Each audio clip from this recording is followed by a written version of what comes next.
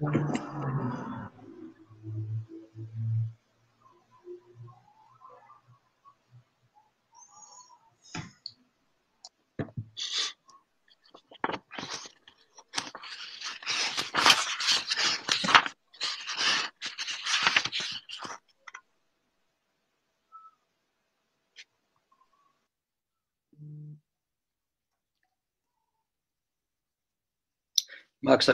Spune că nu se poate conecta.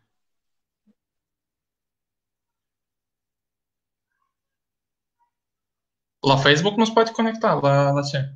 A, bănuiesc eu că... Da, de pe martori eu cred că am primit asta.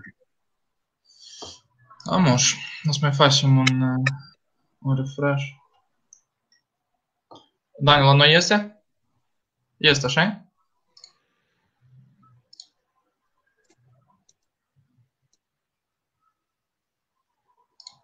Ia, noi suntem la. Deci, e ok. Conectat la, la ce? Da, bănuiesc eu că... Doar da, mă, mă ocup eu. Deci noi facem introducerea, eu o să răspund la, la rest. Am așa. O să mai facem un, un refresh. Ok, putem să începem, colegi? Da. Salut tuturor! Bună seara! Am deosebită plăcere și onoare și bucurie să continuăm astăzi cursurile de drept civil. Avem invitați excepționali. Este doamna doctor în drept Elena Mocanu, notar, ex-viceministru al justiției. Avem pe domnul avocat, doctor în drept, conferențiar universitar, avocat, domnul Octavian Cazac. Și astăzi o să discutăm, o să ascultăm, o să învățăm despre înstrăinarea cotei succesorale. Uh, dacă, domnule Frim, uh, pur tehnic, uh, interveniți, vă rugăm să comentați, preferăm să avem o discuție vie. Eu am să intervin în orice moment și o să o, o, o voi adresa întrebările dumneavoastră pentru speaker, în cazul în care va fi contextul potrivit.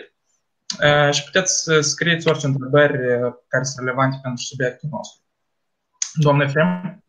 Bună seara la toată lumea și eu sunt încântat să avem astfel de speakeri la, la lecția noastră. Puteți să auziți de la prima sursă nu doar o, o, o lecție interesantă, dar să ascultăm și cum a apărut ideea ca reglementarea care o avem astăzi să fie anume ea. Uh, pentru că aveți aici în față doi oameni care au lucrat la aceste dispoziții uh, legale și mai mult ca atât, Octavian a fost cel care a închegat întregul, întreaga lege de modernizare a, a codului civil. Uh, eu o să zic doar câteva cuvinte despre cât de incitantă a fost această temă o zi întreagă, noi am, cu, cu Max am rămas chiar mirați de interesul oamenilor față de acest subiect. Eu sunt încântat să văd că lumea nu doar uh, vorbește despre nou cod civil, dar chiar este interesat de aceste reglementări. Uh, o să încerc să intrăm în subiect și o să-l rog pe Octavian să ne facă o scurtă prezentare a acestei instituții. Noi anterior nu am avut-o în, în codul civil. Să ne spună cum a apărut ideea, de unde vine, dacă este invenția civiliștilor moldoveni sau am avut inspirație de undeva, de ce a fost nevoie de o atare reglementare și după asta o să mergem încet încet în aspectele practice contract, necontract, vânzare, înstrăinare, drepturi, obligații, răspundere. Doamna notar, doamna Mocanu, o să ne vorbească despre aspectele practice. Eu sunt sigur că putem să avem o lecție extrem de interesantă, dar va fi în funcție de cum ne, cât de activ vom fi noi și câte întrebări vom avea față de acești extraordinari speaker. Octav, the floor is yours. Da, mersi, Oleg. Salut tuturor. Vreau să verific încă o dată dacă mă auziți sau nu, dacă se aude. Da, super. Nu vreau să vorbesc 15 minute și apoi să-mi dau seama că nimeni nu m-a auzit. Să e foarte trist pentru mine. Uh, vreau să vă întreb cum uh, vă merg vouă martorilor. Vă mai credeți încă în ceea ce ați început, cu ce ați început martorii sau cum la voi evoluează credința? Ca noi, to- noi, noi tocmai Crește sau scade credința? Noi tocmai astăzi am stabilit următoarea temă și am zis că în iunie filmăm uh, în orice caz. Da, adică uh, abia așteptăm să vină luna iunie să facem uh, următorul episod, așa că va fi o temă interesantă și o surpriză. Și carantina a fost un moment în care credința noastră în drept civil doar uh, s-a făcut mai puternic. Am tărit. Da, eu, eu, eu sper că noi avem uh, mai mulți adepți, așa că Adepți. eu on the board. Ok. Vă trebuie câteva mii să vă înregistrați, bănuiesc. Sau voi deja. Curtea Constituțională acum a au dat paslablenie. Păi voi deja trebuie să decideți ca partid politic sau ca cult religios. Da, da, da. Trebuie să da. decideți care, în care parte vă luați. Cultul dreptului civil. Ok. Da. Um, nu știu dacă am înțeles întrebarea. Uh, întrebarea era care era um, de ce a apărut instituția înstrăinării cotii succesorale sau uh, Puțină din istorie. care, a, în general istorie. Nu, nu. De, de, ce, de ce instituția asta în codul civil nou moldovnesc? Pentru că uh, oamenii care o să caute în nota de fundamentare a legii cu privire la uh, modernizarea codului civil o să găsească acolo trei rânduri la acest comportament care nu sunt foarte informative. Și atunci, eu cred că noi avem uh, marea șansă să auzim asta de la uh, Mm. oamenii care au scris. Uh, Bine, adevărul este că m, această reglementare a cotei succesorale uh, ca un bun incorporal, el există, este, el este tradițional.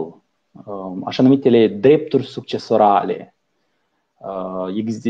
sunt privite ca bunuri separate, privite individual și în dreptul german, reglementarea noastră este ad literam, verbatim, prelată din dreptul german și dreptul francez. Și mă uitam chiar acum la, în Codul Civil al României, este articolul, cred eu, 1717, dacă nu greșesc, că poate numărul, dar 1700 de la vânzare. Da? Deci în Codul Civil al României este o, știi că tradițional la vânzare sunt diferite varietăți ale vânzării Uh, și una din varietățile vânzării în Codul Civil al României este vânzarea moștenirii.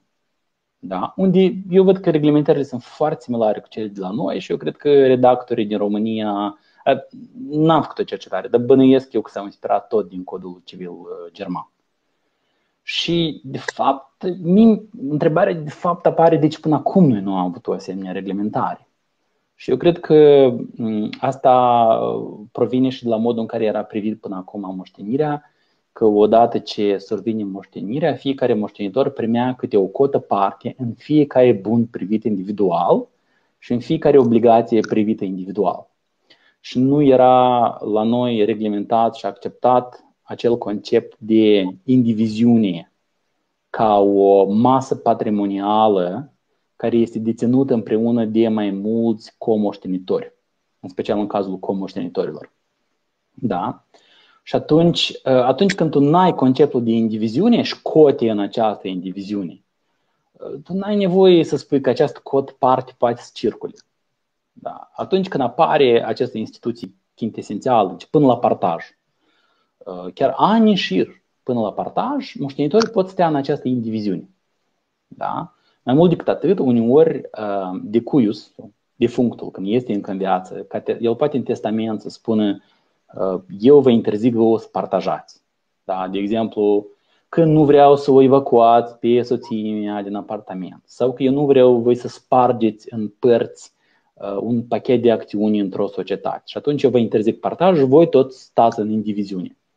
Practic asta este un fel de devălmășie. Pentru că așa cum este regimul soților, este o devălmășie.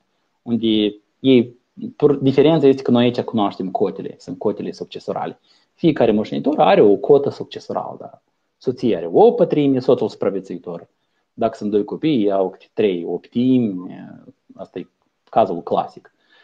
Și atunci, atunci când ai o nouă reglementare și ea privește masa succesorală ca o, ma- ca o masă patrimonială, totalitate de bunuri și obligații, numită universalitate de drept, da? Și atunci când ai, fiecare moștenitor are un drept de moștenire care se reflectă printr-o cotă succesorală în această masă, deja trebuie să răspunzi la întrebarea următoare întrebare. Dar poate ei oare să o vândă? Poate ei oare să să o vândă altuia din trânși, poate ei oare să o vândă unui terț.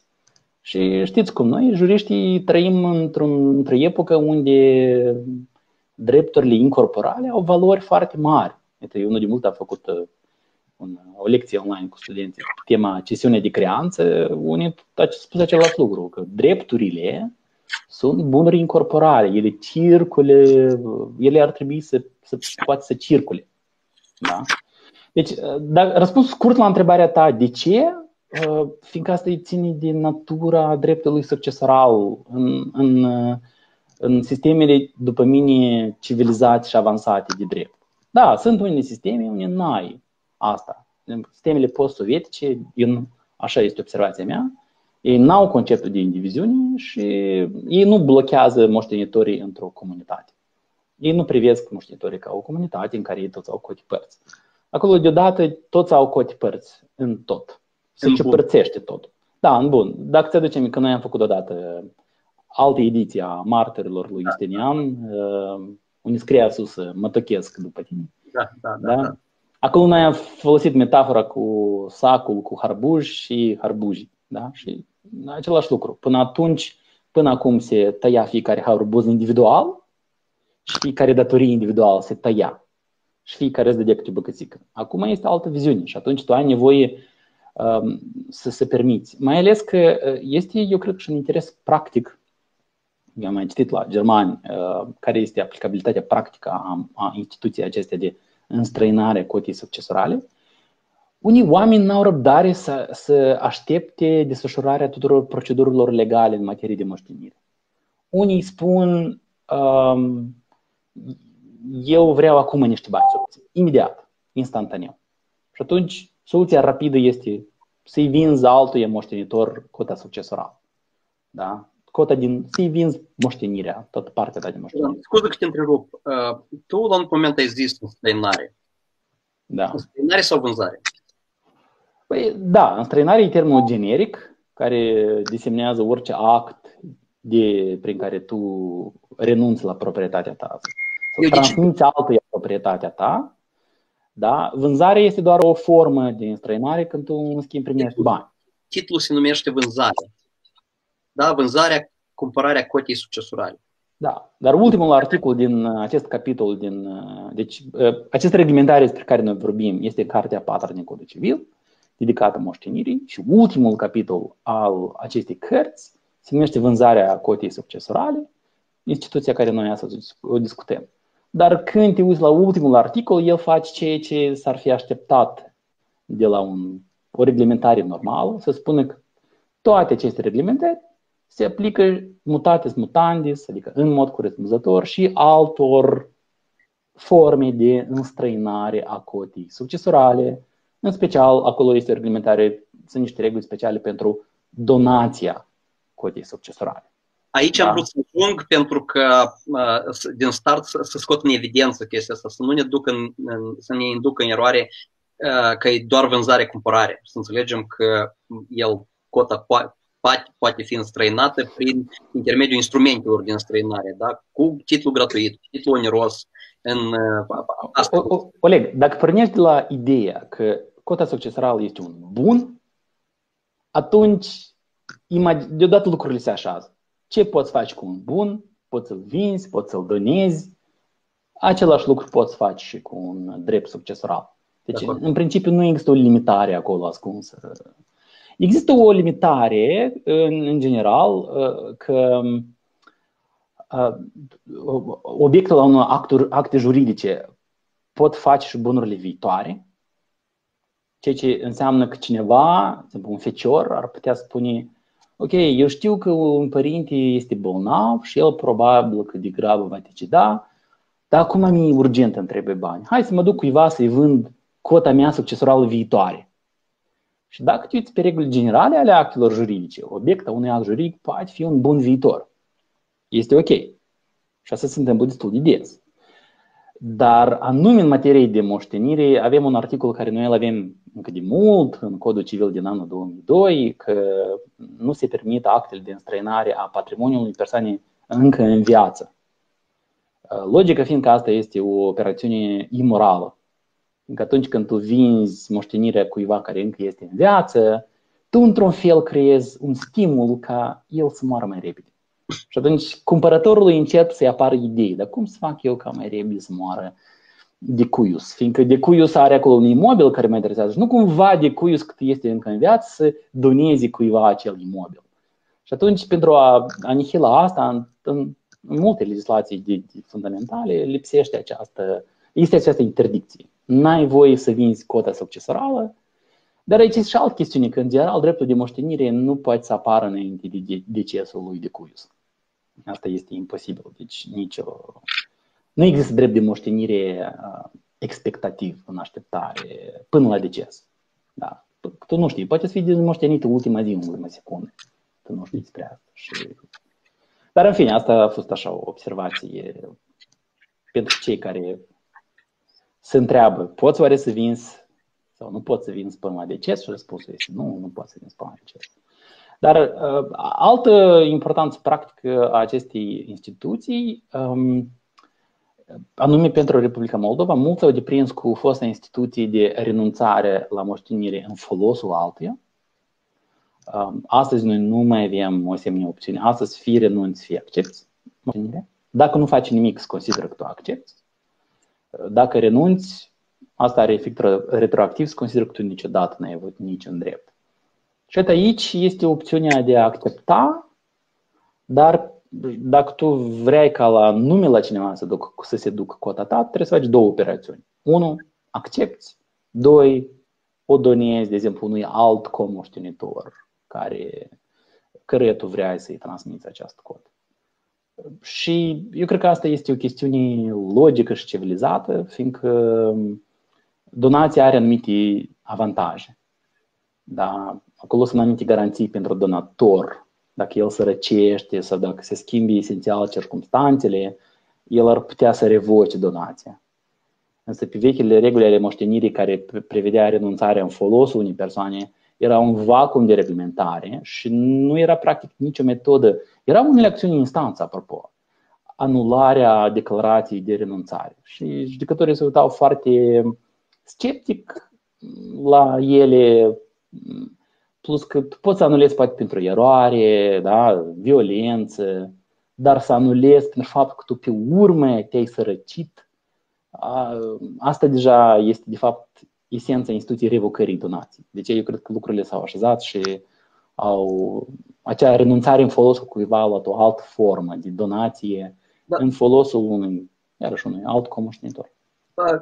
Problema vine de acolo că nimeni nu a încercat să gândească la uh, instituția renunțării în favoarea cuiva ca la un act, ca la o, o uh,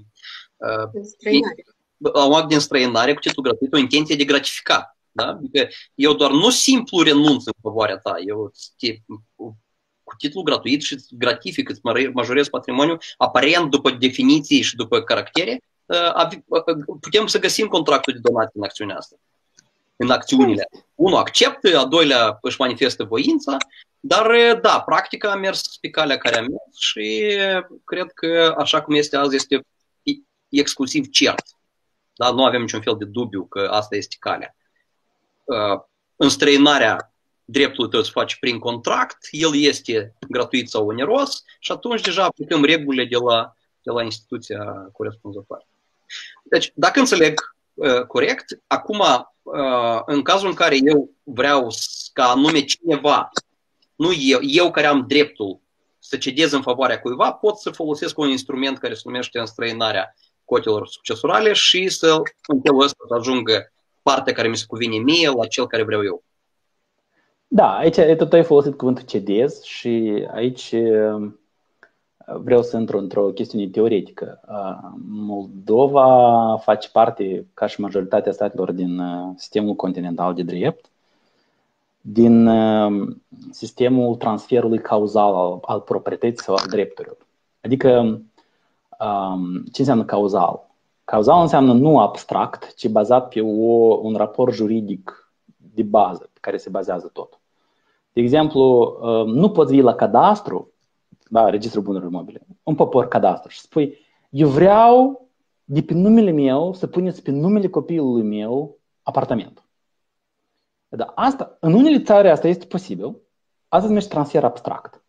Unde cadastru nu te întreabă, dar ce fel de contract este? Acolo vine titularul, spune, ia de numele lui, pune pe numele altul. Ce este asta? Nimeni nu știe ce este. Că e vânzare, că e donație, e complet netransparent. Deci se numește principiul abstractizării și a separării. Uh, Germanii au ceva similar, da, acolo la germani, la carte funciară nu se depune însuși contractul de vânzare, ci se depune declarație prin care eu transmit proprietatea altuia. Acolo chiar e separat la german. Dar în restul sistemului continental, el e cauzal. Adică tu nu pur și simplu, nu pur și simplu cedezi. Adică cum și la renunțare la moștenire. Eu renunț. Da? Asta e numai a spune A, a spune efectul, că tu nu mai ești proprietar. Dar pe mine este întrebarea B. Dar ce ai primit tu în schimb? Ai primit bani? A, atunci e vânzarea, acolo e mai complicat. Înseamnă că tu răspunzi pentru această renunțare. Sau tu ai făcut-o gratuit? A, înseamnă că tu ți-ai sărăcit patrimoniul și dacă tu pe urmă devii încă mai sărac, sau nu-ți poți întreține rudele sau nu poți executa obligațiile față de creditorii tăi, ei vor putea să revină asupra acestei donații. Deci noi nu avem această cedare sau uh, punere de pe un nume pe altul. Nu funcționează așa în sistemul continental. La noi sistem cauzal. Ce fel de operațiune juridică asta este? Și tot timpul trebuie să răspunzi la asta. Așa, asta a fost o paranteză teorică. Da, da, de acord. Da, da, da. da. Din punct deci, de vedere practic, uh, renunțul până la 1 martie 2019, da, era în mare parte titlu gratuit, dar erau și situații practice când pentru un renunț un moștenitor cerea bani. Și partea asta oneroasă de transmiterea banilor rămânea în afara actului juridic. Se transmiteau banii și aveam un act de renunț aparte care se uh, depunea în cadrul dosarului de moștenire. Deci asta era de juridic, banii nu apăreau nicăieri. Nu, nu apăreau nicăieri, fiindcă noi nu aveam așa formă juridică de act ca renunțare contra uh, unei sume bănești, da? Mm. Uh, erau situații, iarăși, nu foarte frecvent, dar erau situații când uh, declarația de renunț era revocată și atunci trebuia să dai o analiză, o apreciere juridică a situației. Uh, o declarație poate fi revocată? Da, poate fi revocată. Ea nu a fost dată irrevocabil. Și atunci, care sunt consecințele juridice? Legea prevedea, pot, nu, nu mai poți accepta dacă ai renunțat. Mai există renunțarea dacă ai revocat declarația? Sau nu există? Acum legea vine cu dispoziții foarte clare care explică consecințele juridice a fiecărui pas care este întreprins de către părți. Este clar și pentru noi, este clar și pentru părțile unui dosar succesural, este clar și pentru terți, care sunt efectele juridice a actelor uh, date de către părți.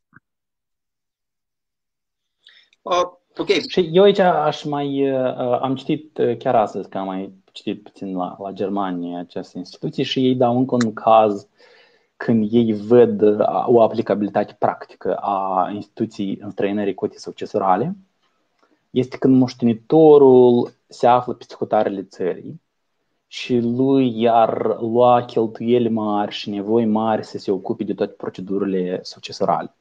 Și atunci el ar putea chiar toată moștenirea să o vândă. Așa cum Școdul spune că uh, regulile înstrăinării cotii succesorale se aplică mutatis mutandis și înstrăinării uh, dreptului unicului moștenitor.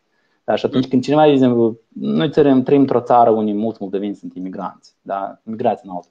Atunci ei spun, ok, eu nu o să-mi bat capul cu, cu, cu toată moștenirea, procedurile, să mă duc la toate autoritățile, eu pot să fac un contract clar prin care eu înstrăinez uh, uh, tot dreptul meu de moștenire. Hai să spunem așa, cota succesorală de 100 de procente sau de 2 pe 2 sau de 3 pe 3, dacă doriți. Cota de total. Pot să o înstrăinez și cineva o să continue, o să fac toate procedurile și acum poate cum îmi dă bani, poate îmi dă bani pe măsură ce el descoperă bunuri. Astea sunt chestiuni care noi să le discutăm, sunt chestiuni deschise. Fiindcă, în general, am citit și la comentariu din România, îi spun că în linii mari acest contract este, el are, um, dacă nu juridic, el economic este un contract aleatoriu. Fiindcă tu nu tot timpul știi ce se află în moștenire. Super. Eu vă propun Uh, așa, într-un fel de blitz sau în măsura în care unde trebuie de oprit mai mult, să ne oprim mai mult, dar să mergem după elementele contractului. Da? Părți, subiect, subiect, termen, preț, garanții, obligații, preem, drepturi, preemțiune, când, cum, cine și cum. Da? Avem aici uh, doamna Mucanu care o să trebuiască să facă astfel de contract. Vedem, trebuie autentificat, nu trebuie autentificat, trebuie... Mi sper că dumneavoastră deja a făcut mai multe contracte de asemenea. Uh, da, păi de aia e fain acum că putem să împărtășim deja aspectele practice. Da? Noi aici cu tine o să vorbim despre elementele contractului din cărt, dar doamna Mocanu să ne spună real life, cum se întâmplă în viață. Da, mulțumesc. Dacă să vorbim despre forma contractului, atunci, indiferent de categoria bunurilor care se includ în masa succesorală, mobile, imobile, contractul privind vânzarea cotei succesorale trebuie să fie uh, autentificat uh, notarial și să întrunească, sigur că uh, toate condițiile generale de valabilitate a unui contract. Ceea ce aș vrea să precizez este că nici codul civil, nici legea cu privire la procedura notarială nu atribuie procedura de autentificare a contractului, de vânzarea cotei succesorale, de competența uh, unui notar anume sau nu, nu, nu este o competență specială a unui notar uh, determinat. Uh, îmi cer scuze. Deci nu notarul care, la, unde s-a, la care s-a deschis uh, uh, moștenirea neapărat trebuie să autentifice acest contract. Contractul poate fi autentificat de oricare notar. Uh, întrebarea practică care apare la notar este, uh, apare atunci când uh, punem întrebarea de vânzare a unei cote succesorale în lipsa certificatului de moștenitor. Deci ce spunea domnul Cazac, până la eliberarea certificatului de moștenitor. Inițial, când am început a aplica aceste norme, văzusem că, sau pentru noi era cert, doar autentificarea contractului în prezența unui certificat de moștenitor care confirmă cu certitudine toate elementele indicate în el, iar elementele sunt cercul de moștenitor și mărimea cotelor care le revine fiecăruia din moștenire. Dar vedem și practica altor țări, precum ar fi Estonia și Germania, că o moștenire poate fi vândută nu numai atunci când certificatul moștenitor a fost eliberat, dar și atunci când acest certificat nu a fost eliberat. Și atunci, cum verificăm noi dacă o persoană care vrea să înstrăineze cota succesorală deține un asemenea drept? Asta este o întrebare practică care la început puțin ne-a stresat, dar pe măsură ce studiez natura juridică a acestui raport, înțelegi că el este mult mai complex și am înțeles că contractul poate fi autentificat și în lipsa certificatului de moștenitor. Dar trebuie să ținem cont de faptul că un asemenea contract poate fi autentificat numai în situația, numai după deschiderea moștenirii, adică după dacă a intervenit decesul lui de cuius, care este fizic constatat sau declarat prin hotărâre judecătorească și dacă moștenitorul a acceptat moștenirea. Și cunoaștem că avem acceptare expresă prin depunerea declarației la notarul care desfășoară procedura notarială ă, succesorală, dar și acceptare tacită. Ă, acceptarea implicită, tacită, se efectuează ă, prin nedepunerea declarației de renunț după ce moștenitorul a aflat despre devoluțiune și temeiul chemării la moștenire. Iată aici ar fi careva temeri că persoana care va solicita autentificarea contractului la un alt notar decât cel care desfășoară procedura notarială nu va putea demonstra că deține un drept care ar putea să-l înstrăineze. Din considerente practice și pentru siguranță, eu văd autentificarea contractului de către un alt notar. Fiindcă dacă procedura succesorală este desfășurată de către mine, eu am toată informația în cadrul dosarului, inclusiv am informația că moștenitorul care a care solicită autentificarea contractului se înscrie în lista moștenitorilor și nu a renunțat în termen de opțiune care, fapt care confirmă că el a acceptat moștenirea. Dar dacă s-ar solicita un asemenea contract, parcă mi se pare mai sigur, și am să rog domnul Octavian să se expună și dumnealui, că uh, prezența unui certificat de calitate de moștenitor care uh, îi permite persoanei să se legitimeze uh, în raport cu terții, ar fi una, unul din actele care mi-ar oferi uh, nu, siguranță contractului sigur că nu va oferi, dar un fel de liniște pentru mine că uh, moștenitorul uh, care a acceptat implicit moștenirea, a solicitat eliberarea certificatului de calitate și a confirmat că în termenul de opțiune nu a renunțat la moștenire. Ce spuneți dumneavoastră? Deci, mm-hmm. eu, pentru mine, uh, întrebarea practică, uh, marea parte a contractelor pe care le-am autentificat au fost după eliberarea certificatului de moștenitor. Și aici parcă uh, întrebările și teoretici practice noi le-am clarificat. Dar în ce privește acceptarea implicită, deci noi nu avem o, uh, uh, o cerere de acceptare, dar nu avem nicio cerere de renunț. Fapt care semnifică că moștenitorul, că persoana este moștenitor deoarece nu a renunțat în termenul de opțiune. Iată cum un asemenea moștenitor ar putea confirma uh, dreptul său uh, de a încheia un contract de înstrăinare a cotei succesorale. Ar, ar exista careva formalități uh, necesare pentru a fi îndeplinite. Ok. Um, da, ați deschis o întrebare mm, interesantă că noi venim dintr-un sistem de drept, de procedură formalist, unde notarul vrea să verifice totul, să se asigure și, să aibă o senzație și părțile să aibă o senzație că ele sunt la adăpost și nu sunt riscuri juridice. Adevărul este că chiar dacă ai un certificat de moștenitor, el nu reflectă adevărul absolut și uh, total, fiindcă el ar putea ulterior să fie rectificat, ar putea ulterior să apară informații că mai este încă un moștenitor, de exemplu, sau că vânză, moștenitorul de vânzător a fost dezmoștenit, apare un testament, sau testamentul său este nul de aceea, această tendință noastră să ne asigurăm de tot, ea este imposibilă. Da? Asta e o primă așa, observație. Ce facem noi din punct de vedere practic? Într-adevăr, germanii nu leagă nicicum încheierea contractului de vânzare a cotei succesorale sau donația cotei succesorale de existența unui certificat de moștenitor deci, și nimic în codul civil nu este o normă care să ne spună că pentru a, fi, pentru a putea să vinzi cota succesorală, trebuie deja să deții un certificat de moștenitor. Și asta se rezolvă pentru răspuns la o întrebare foarte simplă.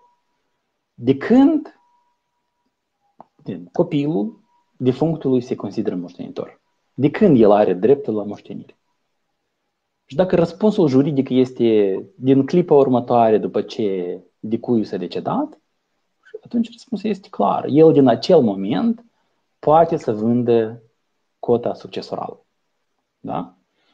Um, sunt incertitudini, de acord, sunt incertitudini, dar cel care cumpără cunoaște. El nu cumpără în contract nu scrie că el cumpără un bun concret, nu scrie că el cumpără un automobil. În contract, deci contractul încheiat de vânzarea cotei, încheiat o secundă după ce a decedat defunctul, sau peste o oră că ei trebuie să mai redacteze cotei și să găsească un notar, da, acolo cel puțin, uh, eu cred că notarul ca minim trebuie să se convingă că un deces a avut loc, fiindcă este nul Uh, contractul care vizează patrimoniul persoanei în viață. Asta este o chestiune care deja trebuie să fie verificată. Da? Dar uh, eu văd un contract foarte simplu în care spune eu sunt moștenitor al lui X, eu încă nu știu ce cod succesoral am, dar eu îți vând toată cota mea succesorală care eu n-aș avea. Ca moștenitor legal, de exemplu. Autentific notarial, autentific și asta este contractul. Uh, sunt riscuri? Da, sigur că sunt riscuri. Noi nu știm ce cod el are, dar nu uitați că în codul civil, la articolul privind obiectul actului juridic, de a doua oară ați revin acolo, spune că obiectul unui act juridic poate fi un bun determinat sau determinabil. Este perfect normal în drept privat să vinzi ceva a cărei întindere nu cunoști exact. Da? De exemplu, Oleg poate să cumpere de la mine un apartament fără să-l măsoare cu centimetru. Da? Da, acolo el putea să-l măsoare, corect, adică era posibil. Dar uneori se vând lucruri care, de exemplu, noi putem să avem, uh, apropo, Oleg, tu ce le spui studenților tăi? Că contractul de vânzare este un contract aleatoriu sau un contract comutativ?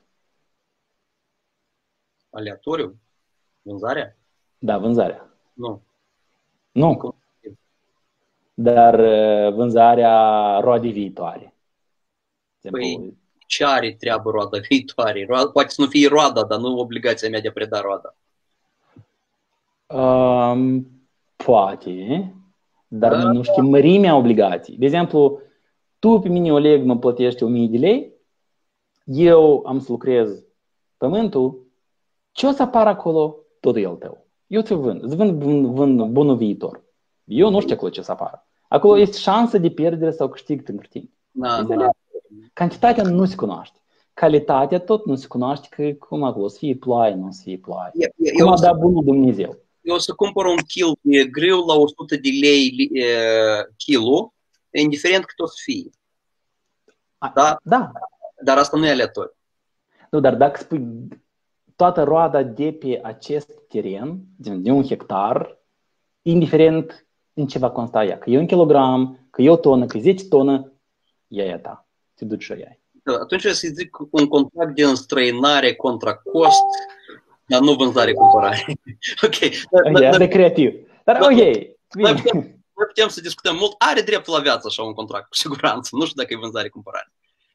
Eu, da, la fel cum apropo eu ție pot să-ți vând un rep litigios care e contestat în instanță, uh, iar în instanță acțiunea este un, una nulitate a dreptului meu. Și atunci, dacă no. noi tu nu știi dacă o să dobândești până la urmă. Și noi în contract spune, eu mă exonerez de orice evicțiune. Adică eu ți-ți vând, uh, nu dau nicio garanție. Tu, dacă îți pierzi procesul și n-ai să ai obții nimic, asta e problema ta. Nu, Pentru mine asta este aleatoriu. Doar articolul 993, da. Noi putem să facem tot ce vrei, libertate de contract.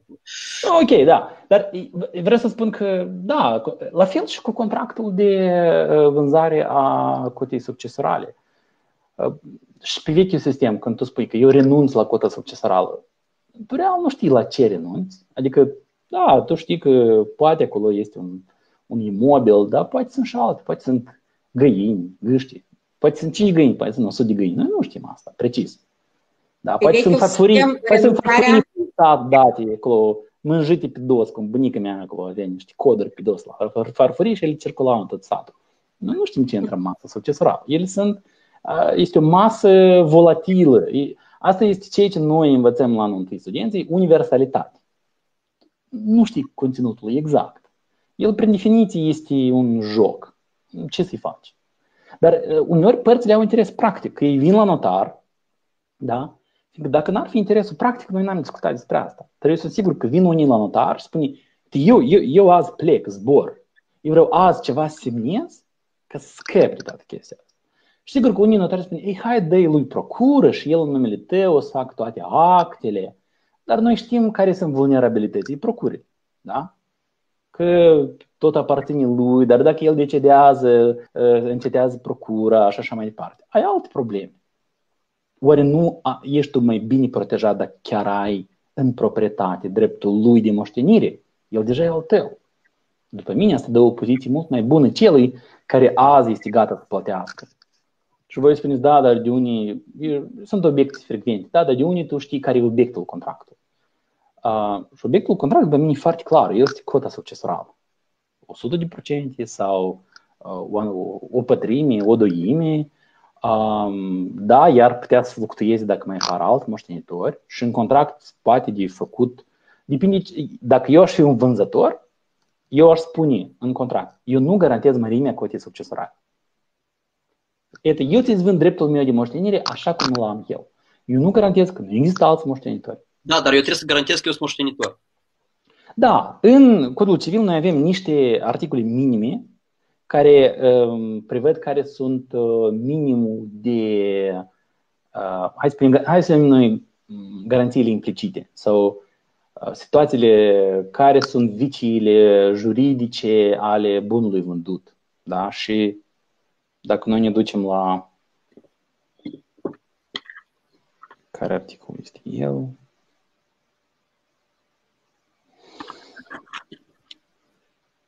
Uh, 2566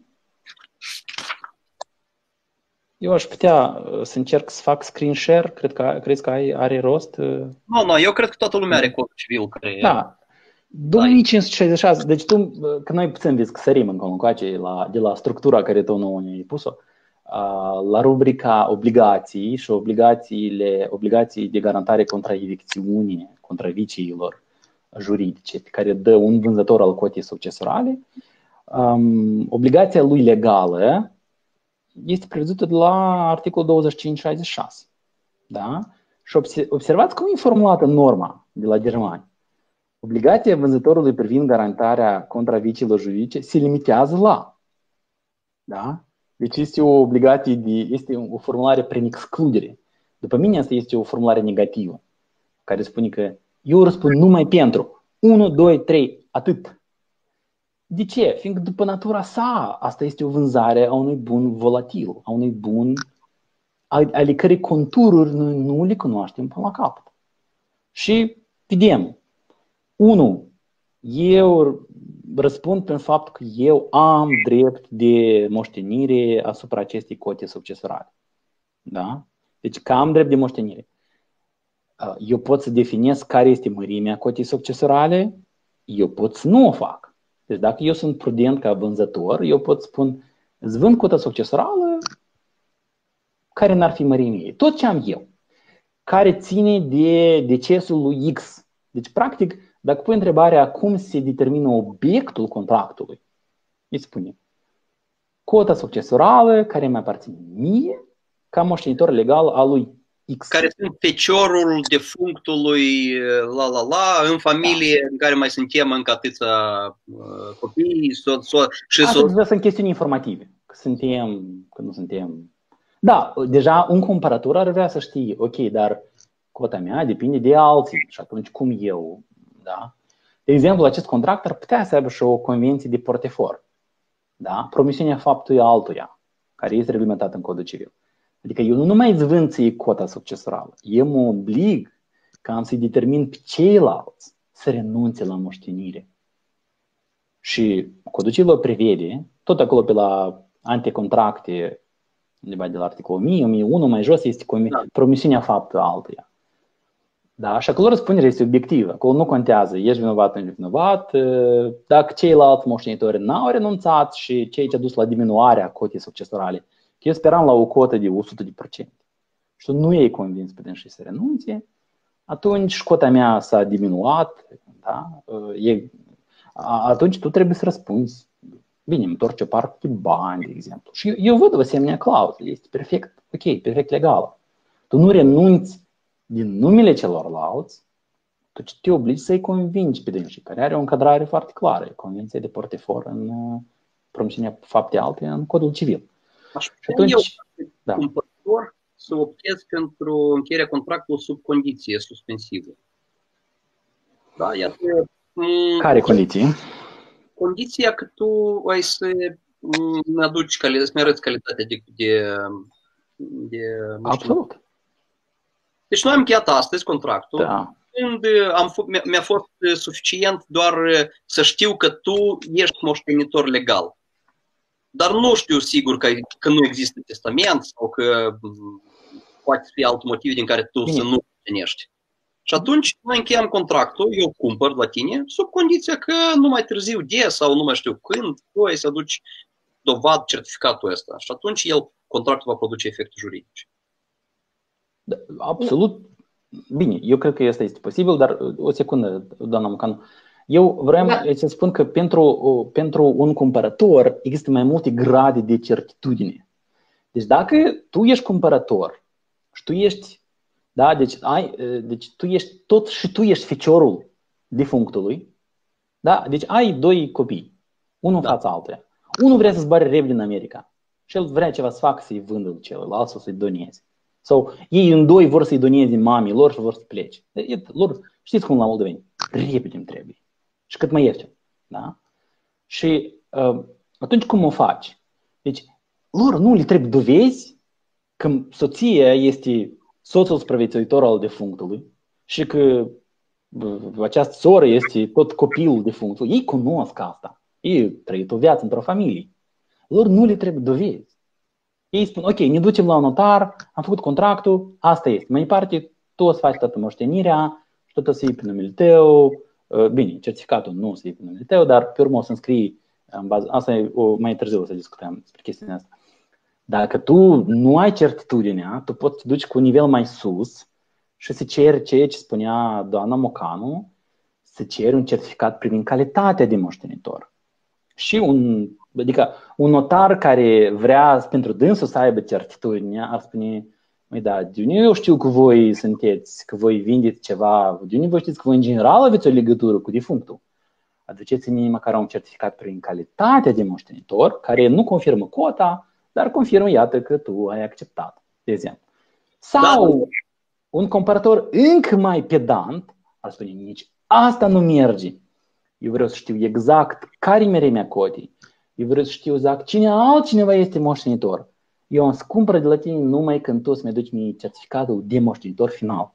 Și atunci vânzătorul spune, sorry, asta îți dureze timp, eu n-am timpul ăsta, mă duc și în cumpăr, caut un alt cumpărător. Deci interesele sunt diferite în diferite situații și gradul de cunoaștere al cumpărătorului este diferit. Doamna da. Mocanu, eu ce scuză v-am întrerupt.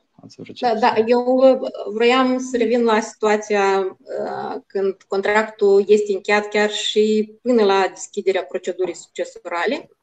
Da. Uh, un cumpărător care dobândește uh, dreptul asupra cotei succesorale este uh, uh, împuternicit în numele moștenitorului să întreprindă toate acțiunile pe care le-ar putut fi întreprinde acesta pentru a obține certificatul de moștenitor. Deci, cumpărătorul va putea depune cererea de deschidere a procedurii succesorale. Uh, cumpărătorul va fi cel care va reprezenta moștenitorul în relațiile de, uh, legate de dispunerea sau administrarea uh, masei succesorale. Cumpărătorul va putea solicita eliberarea certificatului de moștenitor dar iar aici aș fi vrut să mă opresc uh, și să spun că certificatul de moștenitor nu va avea înscris pe cumpărător în calitate de moștenitor. Moștenitorii vor fi cei care sunt moștenitori, cumpărătorul fiind doar un reprezentant al moștenitorului care uh, întreprinde toate acțiunile. Pentru... Eu nu, okay? l-aș numi, eu nu l-aș numi reprezentant de dragul, de dragul așa, preciziei eu... juridice. Eu l-aș numi succesor în, în, anume în această relație de moștenire, succesor de drepturi și obligații. Succesor de drepturi, ceea ce privește cota din masa succesorală. Da. Calitatea de moștenitor al moștenitorului nu încetează odată cu vânzarea uh, cotei succesorale. El rămâne în continuare moștenitor uh, uh și are drepturile sale distincte în calitate de moștenitor asupra uh, imaginilor, uh, exact care mai privete uh, legea, o serie de bunuri care țin strict uh, de uh, sunt strict um, personale, legate de uh, relațiile probabil că familiale. Uh, un contract de vânzare-cumpărare încheiat până la deschiderea procedurii succesorale probabil că ar trebui să includă și declarația moștenitorului de acceptare a moștenirii și informare da. sau garantare a cumpărătorului, precum că el la moștenire nu a renunțat și nu va renunța. Eu aici, da, asta este o întrebare, eu sper că mă auziți. Că, da? Da. O întrebare, să, să, să dau și eu cu părere la întrebarea care a formulat-o Danu Mocanu anterior. Cum ne asigurăm noi că totuși vânzătorul pe urmă nu renunță la moștenire? Și, în primul rând, m-am uitat și un comentariu codului cel român, unde este un alt sistem, da? acolo e sistemul prezumției de, neaccepta, de neacceptare, prezumție de renunțare, acolo acceptarea trebuie să fie expresă sau uh, să rezulte, nu știu, din alte circunstanțe și chiar și comentariul românesc spune că vânzarea moștenirii implicit este un act de acceptare implicită a moștenirii.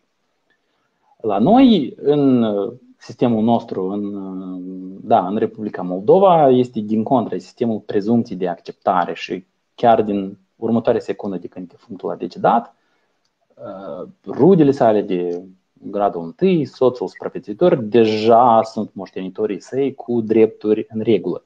Fără hârtie în mână, dar cu drepturi. Da? Și asta e, pentru juriști asta contează. Pentru non-juriști contează hârtia. Pentru juriști contează drepturile și apoi hârtia. Asta e, eu cred că e diferența fundamentală între juriști și non-juriști. Da? Dar um, eu tot cred că pentru prudență și eu cred că este bine că contractul ăsta uh, se autentifică notarial, chiar dacă în masa succesorală nu intră niciun bun imobil. Da, unicul bun imobil, unicul bun din masa succesorală poate fi o găină. Și oricum, tot contractul trebuie să fie autentificat notarial. Da, asta e. Și eu cred că cu această ocazie, notarul care autentifică, ca să se, iarăși, ca să protejeze mai bine drepturile cumpărătorului, trebuie să aibă un pasaj separat în care spune că um, vânzătorul declară că el este moștenitor și că el prin prezent acceptă moștenirea. Codul civil ce cere pentru acceptarea expresă moștenirii? Cere o declarație autentică. Dar eu cred că nu uh, sper că nimeni va spune că această declarație autentică de acceptare trebuie neapărat să fie un document separat, unde scrie sus frumos cu litere all caps declarație de acceptare. Eu și eu cred că el poate, această declarație poate face parte dintr-un contract mai complex, cum ar fi contractul de vânzare cu cutii succesorale, unde moștenitorul spune, 1. Eu declar că sunt moștenitor. 2. Eu declar că eu păi, accept moștenirea. Da? Oleg, tu mă auzi? Eu te aud foarte bine, acum ah. îi scriu lui Max imediat, doamnele. Da, nu, nu, nu uita gândul, asta e ca și cazul cu procura, da? da. Declarațiile de, nu trebuie să fie să numească documentul procură, poate să regăsească în puternicirile și în procesul verbal al adunării generale. Și într-un contract. Băncile constant da. în contracte includ mandat de debitare, că ei pot să-ți bagi mâna la tine, ei, tu lor le dai în puternicire, ei să bage la mână la tine în cont și să scoate de acolo bani. Asta e același mandat, sunt în puternicire. Da? Uh, chiar dacă asta uh, este în contra un contract, nu este într-un act voluntar. Asta e altă problemă, asta e iarăși problemă cred, culturală la noi. Um, pentru mulți procura e una, mandatul e alta și e ce e mult discutat și dar nu, nu e ce vreau să, să ajung. Eu cred că dacă legea spune așa, ok, pentru a accepta moștenirea, da? și pentru, clar, pentru ca să o faci, să nu mai poți renunța. Dar fiindcă asta un cumpărător vrea și asta un notar vrea care autentifică, să se asigure că vânzătorul trebuie nu să renunți. Da? Și pentru a, pentru, a, pentru a te asigura de asta, pentru a obține aceste garanții, este simplu. Introduci în contract care este în formă autentică, introduci o clauză privind acceptarea moștenirii. Și el, uh, el nu mai poate renunța la moștenire. Adică, sigur că este posibil că el frumos ducă la, la alt notar care instrumentează moștenirea, da? care desfășoară procedura, o să depună o declarație de renunțare. Um, și atunci o să fie o să fie un litigiu, o să fie un litigiu, dar eu cred că o să fie răspunderea lui, răspunderea lui ca moștenitor. Da, ca, ca vânzător. O să fie răspundere ca vânzător că el nu, el a garantat că el este moștenitor, dar primul s-a dus pe ușa din spate și a făcut ceva că în fond l-a decapitat pe dânsul de calitate de moștenitor. Turpitudine, da, da, da, dar aici um, eu am vrut să ajung la o chestiune fundamentală. Fiindcă cei de la ce a început doamna Mocanu ca notar, și cred că toți, primul lucru care notarii îl, îl pun este ok, eu te-am legitimat pe tine cine ești tu prin buletin, dar cum eu verific dreptul tău? Da? Notarii tradițional, și asta toți așteaptă de la dânsii, ei verifică dreptul de proprietate al vânzătorului. Uh-huh. Da? Um, și, uh, în primul rând, eu am încercat așa foarte rapid să verific în, în, lege, în legea privind procedura notarială. Și sau poate, poate greșeala mea, că am căutat pe repede, n-am găsit așa o normă foarte clară că notarul este responsabil uh, privind, nu știu, de verificarea dreptului de proprietate. Poate doamna Mocanu să mă, să mă ajute la care anume articol să mă focusez. Dar până atunci eu vreau să atrag atenție la un articol nou uh, în Codul Civil, care de fapt a mai fost în altă redacție, în vechiul articol 205, cine este curios poate până la 1 martie 2019, era vechiul articol 205, acum e articolul 358, care prevede regula Nemo plus Iuris. Da? El ne spune, nimeni nu poate transmite mai multe drepturi decât el își are. Da? Dacă tu nu ești moștenitor, tu nu poți unui cumpărător să-i transmiți moștenirea. Și asta este ok. Acum, întrebarea clasică care te pune la juriști se numește vânzarea bunului altuia. Ce se întâmplă dacă eu acum îi vând doamnei Mocanu telefonul lui Oleg Efrim? Ineficient. Da, și întrebarea, și prima întrebare este, este oare un contract nul sau nu este un contract nul? Și răspunsul îl avem aici în articolul 358, că acest contract nu este ilegal, el nu este nul. El, da, și aici deja intrăm încetșor în analiza germanilor, dar nu, nu foarte germană, că la noi totuși rămâne un sistem cauzal, nu un sistem abstract cum este la germani. Și analiza este că, ca și drepturi și obligații, contractul este perfect valabil. Da? Tu rămâi dator să transmiți mie. Da, eu trebuie să fac tot ca să transmit proprietatea și modul în care eu o transmit este că eu trebuie să fiu moștenitor sau să o dobândesc moștenirea asta cumva. Da? Să mă bat pentru dânsa. Și dacă eu promit că vând telefonul lui Oleg, eu trebuie după acest webinar să-l sun pe Oleg, să-i fac o invitație undeva în oraș și să-l conving cumva. Mă să fac o ofertă pe care tu nu o poți refuza, de exemplu. Să-ți aduc un telefon mai bun, mai nou, de exemplu. Sau să-ți promit că renunț la pretenția mea la cartea aceea de uh, Civil Law Tradition cu al lui Reinhard Zimmerman, care încă la tine, pare Eu mă țin o leacă la mine și tu întorc. Da? Eu vreau cu această ocazie să obțin la tine o recunoaștere de datorii ca să întrerupe prescripția. Da, da, da. Eu pot să dau da? și Nu, eu am master. Eu am master. Deci tu recunoști că cartea mea este la tine. Cartea ta este la mine, Octavian, sigur. Am de vreo 12 ani undeva. Da, da eu... Și nu mă deranjează că e la tine, eu mă vreau să întrerup uzucăpenia de 10 ani de rea credință. Eu, eu, Noi eu, avem uzucăpenia de 10 ani. Eu, Dar dacă era... tu recunoști uzucăpenia să întrerupe și începi scurbând 90 ani. Eram, nu am o problemă, tot să-l mai țin 10 ani. Eram, eram optimist că am scriu teza, dar m- am renunțat așa că să o întorc înapoi. Nici nu știi cum să schimbe, mai ales că dacă se mai întinde pandemia, tama știi să mai scrii teza. Și da. Dar, în fine, asta e, asta e decizie personală.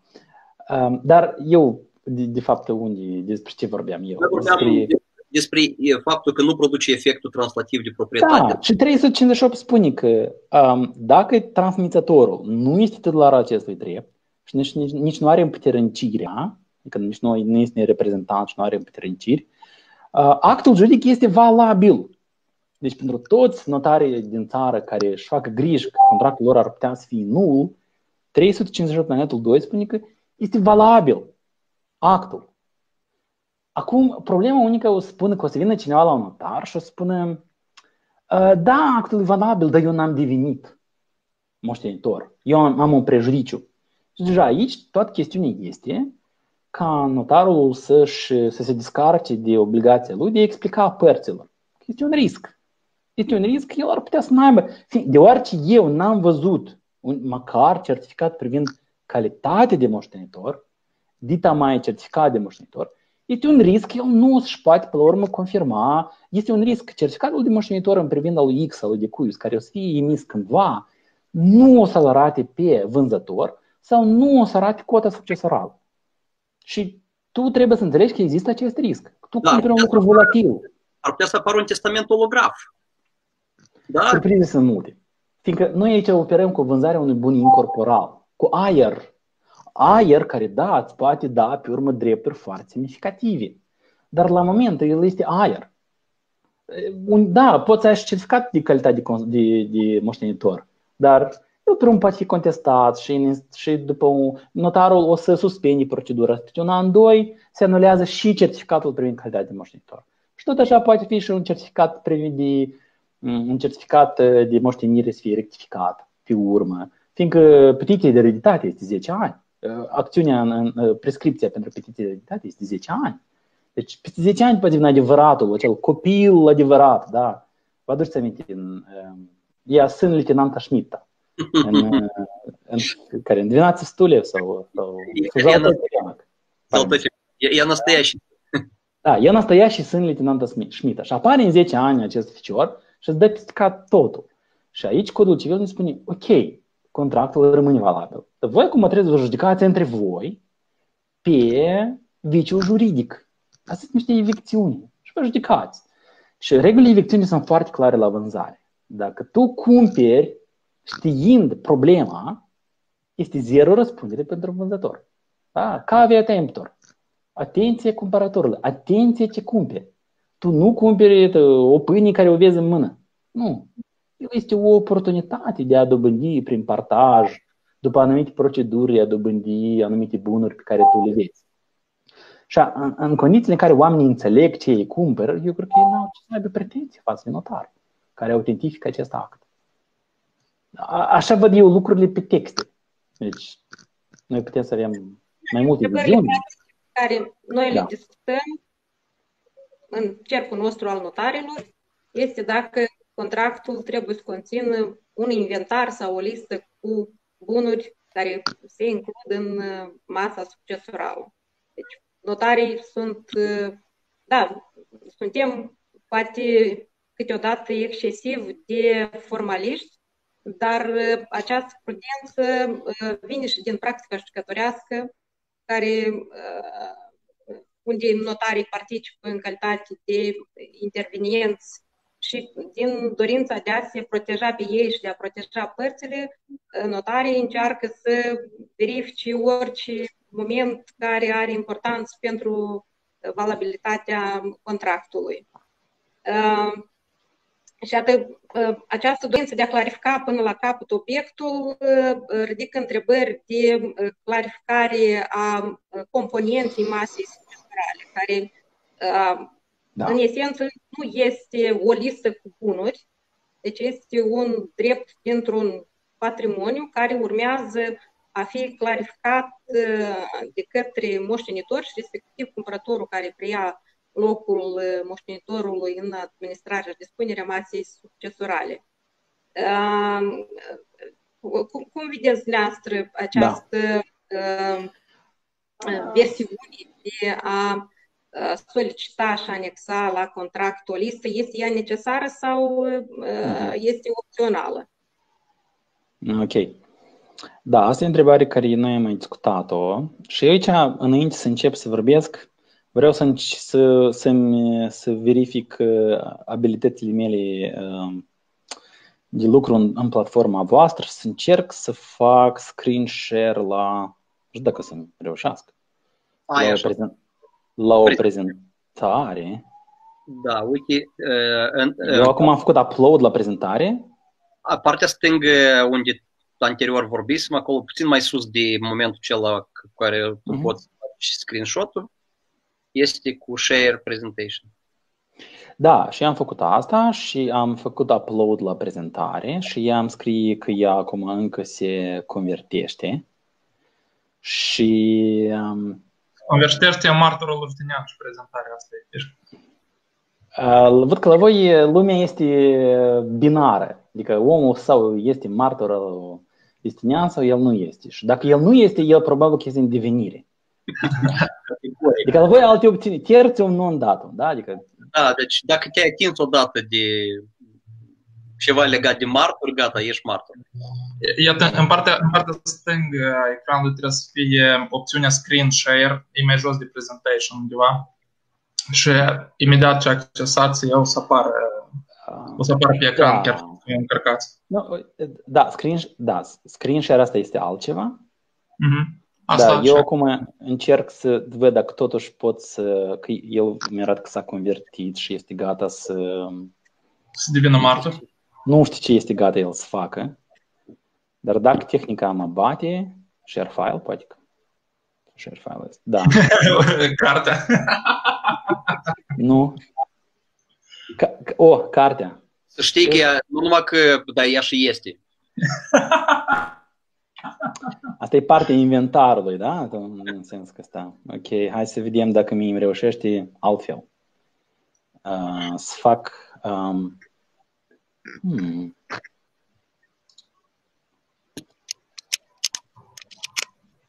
Ok. Se vede că noi undeva mergem. Da, este. Se este. vede prezentarea în PowerPoint, da? Mm, da. Da. Da. Și eu vroiam, Dimple. Макс. Макс. Йо. Брайан Птинистин треб. Это... Mm-hmm. Вы на фараде можете нири. А на фараде можете нири. А часто схемы. Че тебя дучат я миги? În ce caz mai putem vedea o schemă similară?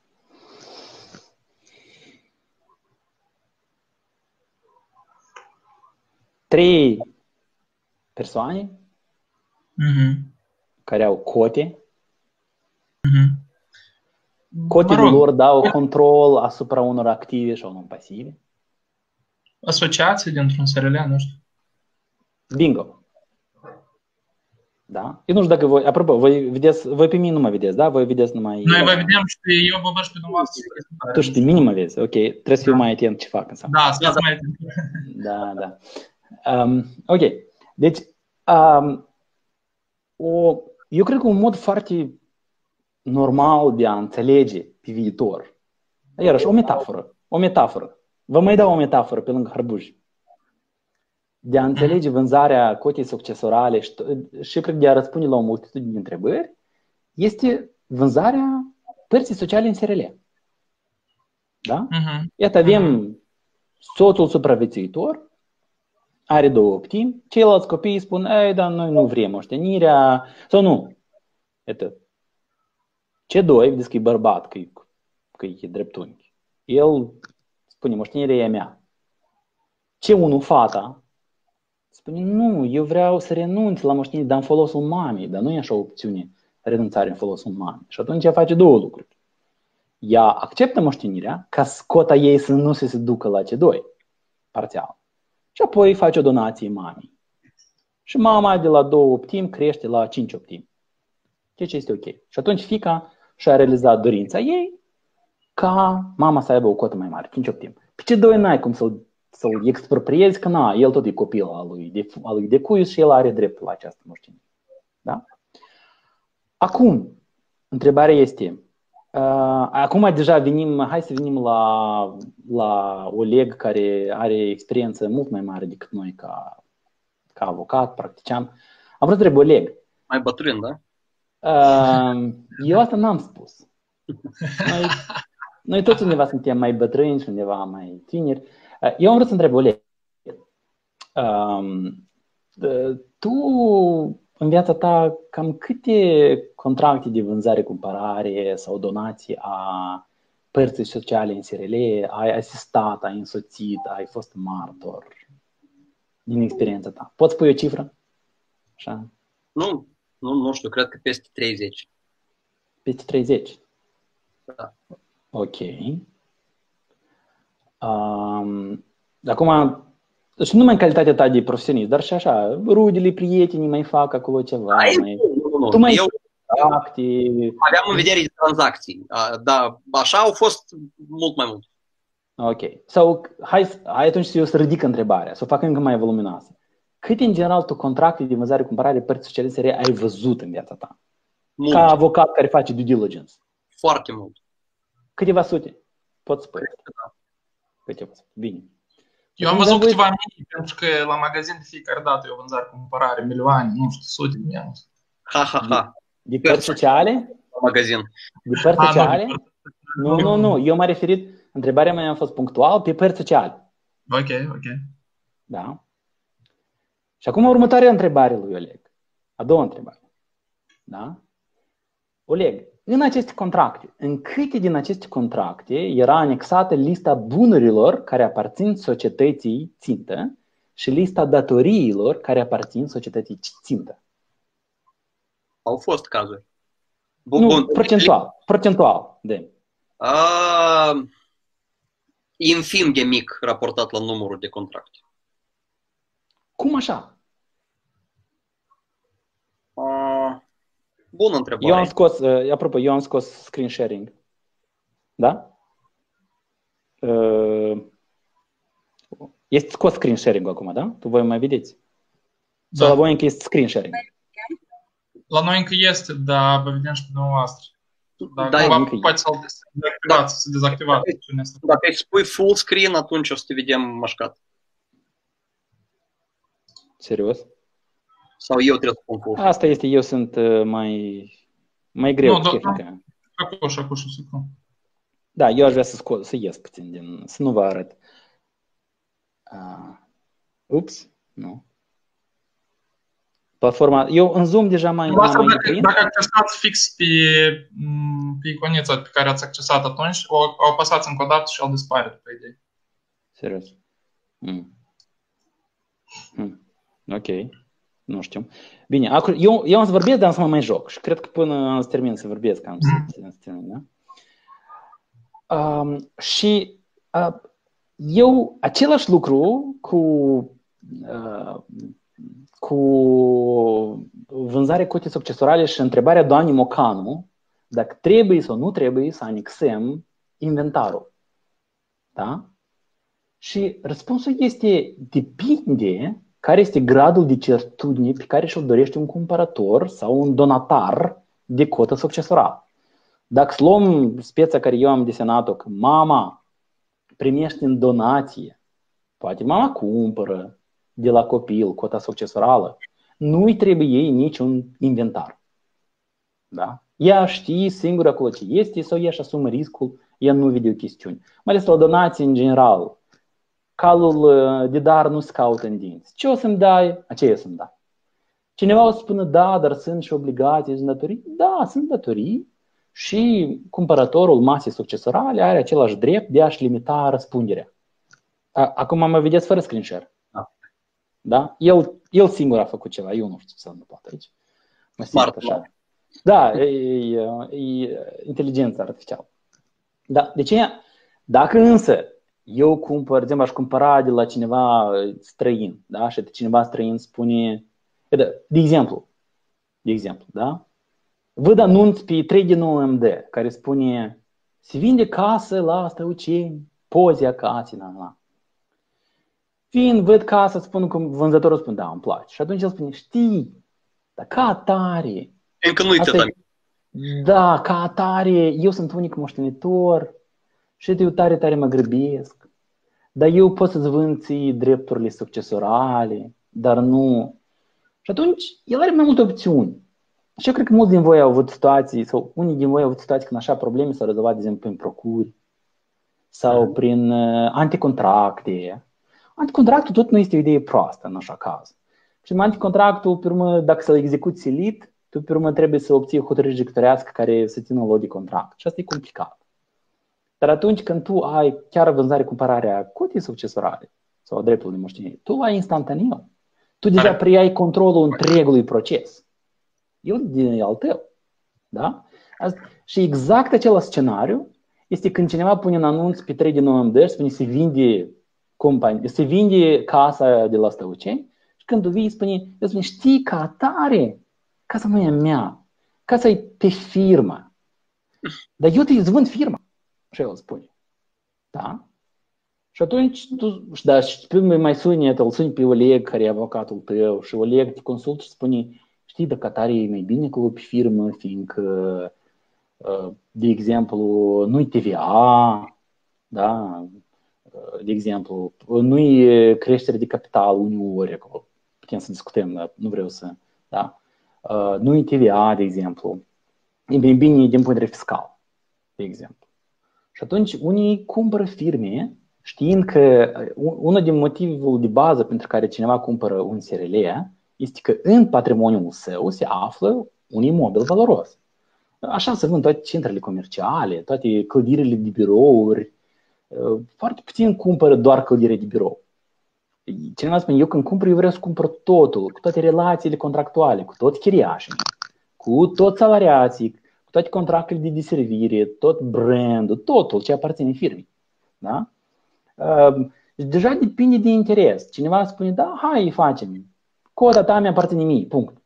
Alții sofisticați care se înarmează cu juriști tranzacționale, așa cum este Oleg și Maxim, spun, nu, nu, nu, nu.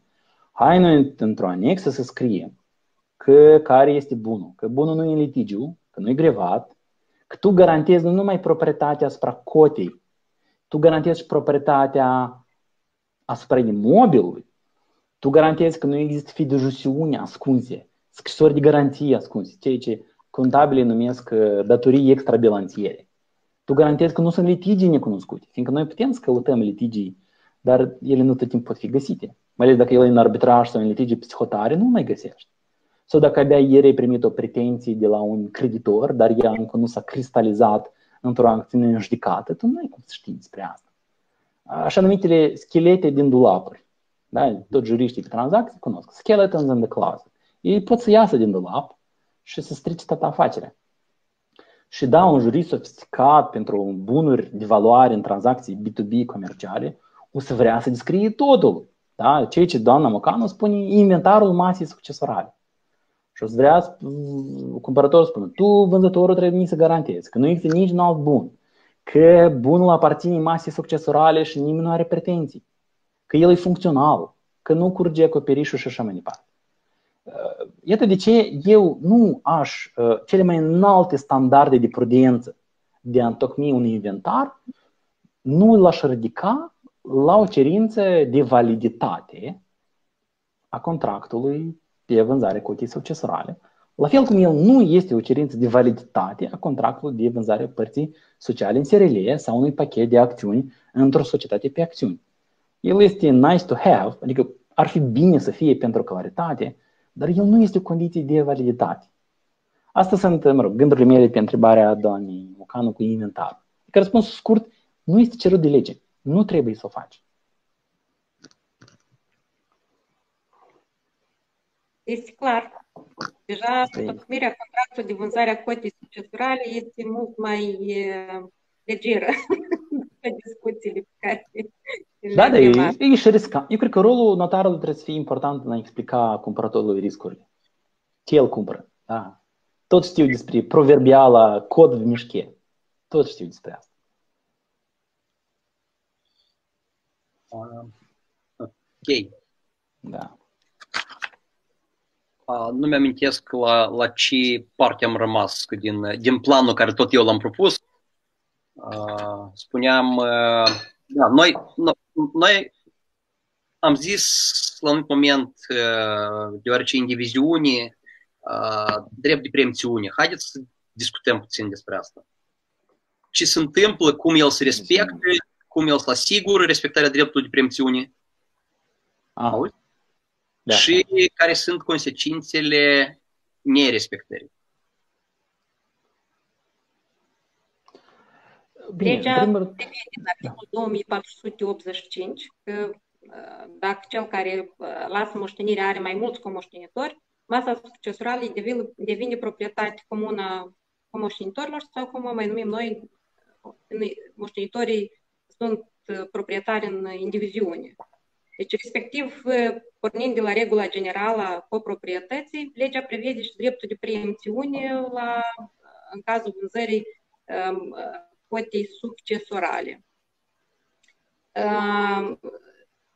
Acest drept de preemțiune este dispus pentru situațiile când cota succesorală este vândută unui terț. Dacă cota succesorală este vândută unui comoștenitor, dacă avem un contract de donație a cotei succesorale, dacă avem un contract de schimb, eventual, unde cota succesorală este obiect al schimbului, atunci, similar exercitării dreptului de preemțiune în cazul coproprietății comune, această procedură nu urmează a fi respectată. Acum, cum urmează a fi exercitat acest drept preemțiune? Obligația de informare despre transmiterea cotei succesorale revine vânzătorului. Probabil că vânzătorul, iarăși făcând similitudine cu dreptul de preemțiune în cazul proprietății comune care îl cunoaștem noi până acum, va, fi, va expedia o notificare către comoștenitori despre vânzarea cotei succesorale, dar în situația în care comoștenitorii nu sunt cunoscuți. Iarăși revenim la speța când contractul de vânzare-cumpărare este încheiat atunci când cercul de moștenitori încă nu este cunoscut. Parcă aș intui că acest drept preemțiune va fi exercitat atunci când comoștenitorul va fi informat despre vânzarea cotei succesorale. Adică dacă avem ulterior un cerc de moștenitori pe care nu l-am cunoscut la momentul autentificării contractului, crezând că moștenitorul este unul singur, spre exemplu, da? Cei care vin și dobândesc calitatea de moștenitor după ce contractul a fost autentificat, își pot exercita termenul de opțiune în termen, termenul de preemțiune, dreptul de preemțiune în termen de două luni din momentul în care au aflat despre străinarea cotei succesorale. Deci nu, nu avem norme speciale cu privire la sau proceduri speciale cu privire la exercitarea dreptului de preemțiune. Legea doar spune că un asemenea drept trebuie, există, că el se exercită în termen de două luni și că vânzătorul are obligația de a informa comoștenitorii despre transmiterea cotei succesorale. Acum aș putea să fac o conexiune cu obligația vânzătorului, care de fapt este exercitată în raport cu creditorii masei succesorale. Înstrăinarea cotei succesorale incubă vânzătorul obligația de informare a creditorului, iar informarea notarului despre încheierea contractului înlocuiește notificarea ați cum că m-am greșit, am zis. Legea dispune obligația vânzătorului de a notifica neîntârziat notarul care desfășoară procedura notarială despre vânzarea cotei succesorale. Și atunci, orice moștenitor care acceptă moștenirea, care ridică certificatul de moștenitor, are posibilitatea să facă cunoștință cu materialele care sunt acumulate în cadrul procedurii succesorale și termenul de două luni ar putea fi calculat din momentul în care el face cunoștință cu um, existența unui contract de vânzare-cumpărare. Aș putea să vă rog să punem în discuție acest aspect, fiindcă uh, uh, contracte de vânzare-cumpărare, de fapt, în esență, noi nu avem uh, foarte multe, în mare parte ele sunt contracte de donație. Dar în situația în care am avea un contract de vânzare-cumpărare când cercul de moștenitori nu este încă cunoscut. Cum credeți, de când va fi calculat acest termen de două luni de exercitare a dreptului de preemțiune de către moștenitorii care au aflat ulterior încheierii contractului despre, uh, uh, despre existența unui contract de vânzare-cumpărare? Cum am putea Iarăși aici Eu cred că nu contează dacă ei au document. Exercitarea dreptului de preemțiune, dar da. cred că pornind de la procedurile pe care, care există și acum în cazul vânzării unei cote dintr-un bun comun, noi vom încerca să ajutăm un cumpărător să se convingă că comoștenitorii nu ar avea, avea careva pretenții de exercitare a dreptului de preemțiune. De fapt, eu cred că nu contează moștenitorii um, dacă au primit certificat de moștenitor sau nu au primit certificat de moștenitor. Uh, aici contează cunoașterea efectivă, fiindcă um, asta este specificul reglementării preemțiunii la... Noi doar avem o reglementare dedicată detaliat preemțiunii la vânzare-cumpărare. Da, fiindcă asta este o chestiune clară că pre, dreptul ăsta de preemțiune nu se aplică uh, în alte cazuri decât la vânzare-cumpărare. Adică pentru donații, de exemplu, nu se pune deloc problema dreptului de preemțiune. Dar anume la, dacă este vânzare-cumpărare, intervine secțiunea uh, specială de la vânzare-cumpărare privind uh, dreptul de preemțiune și acolo dreptul se exercită de către titular la momentul când lui este comunicat. Deci acolo este un test subiectiv. Da? Testul nu este de când știa sau trebuia să știe, testul este unul când lui el a fost notificat despre asta. Și atunci un cumpărător um, o să dorească cât mai repede să notifice. El nu contează dacă ei sunt trecuți într-un certificat de moștenitor sau nu. El, uh, din contra, el poate să ceară notarului să desfășoare procedura, să identifice moștenitorii și acei moștenitori să, să-și, da, notarul să-i pună pe ei la cunoștință că, iată, s-a, s-a vândut și exercitați dreptul vostru de uh, preemțiuni. Uh, deci este, este, dreptul de preemțiune este un risc constant până când expiră aceste două luni, de când tu ca cumpărător ai dovadă clară a notificării celorlalți moștenitori. Care sunt acei ceilalți moștenitori, noi să știm cu certitudine numai când va fi întocmit certificatul de moștenitor. Până atunci noi suntem într-o incertitudine, dar dacă moștenitorul spune, ok, uh, cel care vine, el spune, ok, sunt eu și este mama și sora, de exemplu, um, atunci moștenitorul știe, el de la ei trebuie să obțină fie renunțări, fie pe să-i notifice oficial chiar până la existența unui certificat moștenitor. Și asta, în așa fel, el va accelera curgerea termenului de uh, preemțiune de, de două luni. El va provoca curgerea. Poftim? Pentru cei care nu sunt cunoscuți la momentul autentificării contractului? N-ai cum să-i notifici. Și atunci a, dreptul lor rămâne în aer. Fiindcă dreptul lor de curge de când, dați să verific încă o dată despre existența contractului de vânzare-cumpărare a cotei. De când află de la notar că a fost încheiat un contract. Da, iată, dacă eu am încheiat pe contract. regulile vânzării este, acum să mă uit la norma exactă, dar pe regulile vânzării este când el a fost notificat, nu când pur și simplu a aflat. Când el, el trebuie, când, ca să exerciți un drept de preemțiune, trebuie să știi condițiile. Tu trebuie să știi prețul. Deci până când tu nu știi prețul, nu avem despre ce discuta. Simplu fapt că s-a vândut este pentru mine ne, uh, insuficient ca eu să iau o decizie să cumpăr sau să nu cumpăr. Dar care articol este, că eu încerc să o găsesc, formularea lui, 2488, care spune așa. Termenul pentru exercitarea dreptului de preemțiune este două luni. Da? La imobilie el este o, o lună, dar iată, eu văd aici că el este modificat la moștenire, având în vedere caracterul complex al moștenirii, este modificat la două luni, ok. Avem, deci, dar nu spune din ce moment. Nu spune.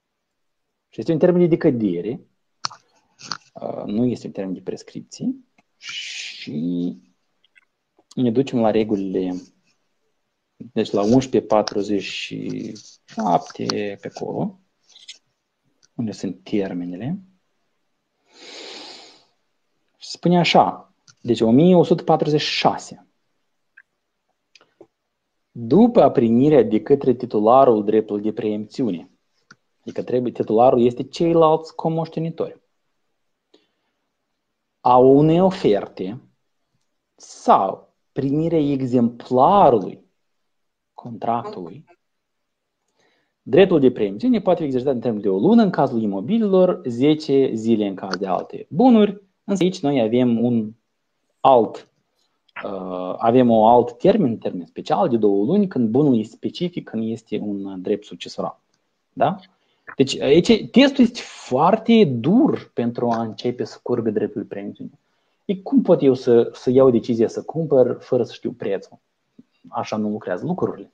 Și iată, deci este termen de două luni să vezi, poate. De aceea, eu cred că aici se aplică, pur și simplu se aplică regimul general al preemțiunii. Cum spunea și doamna Mucanu, că aici avem niște Uh, și asta cred că este un lucru bun. Când se introduce undeva o preemțiune, este important legitorul pur și simplu să spună pentru vânzarea acestui bun, acest subiect are preemțiune. Gata. În rest, nu trebuie să detaliem că avem un regim general preemțiune la vânzare. Asta e problema care noi, de exemplu, tot timpul am avut-o la proprietate comună pe coti părți, vânzare coti părți. Când acolo era un microregim special.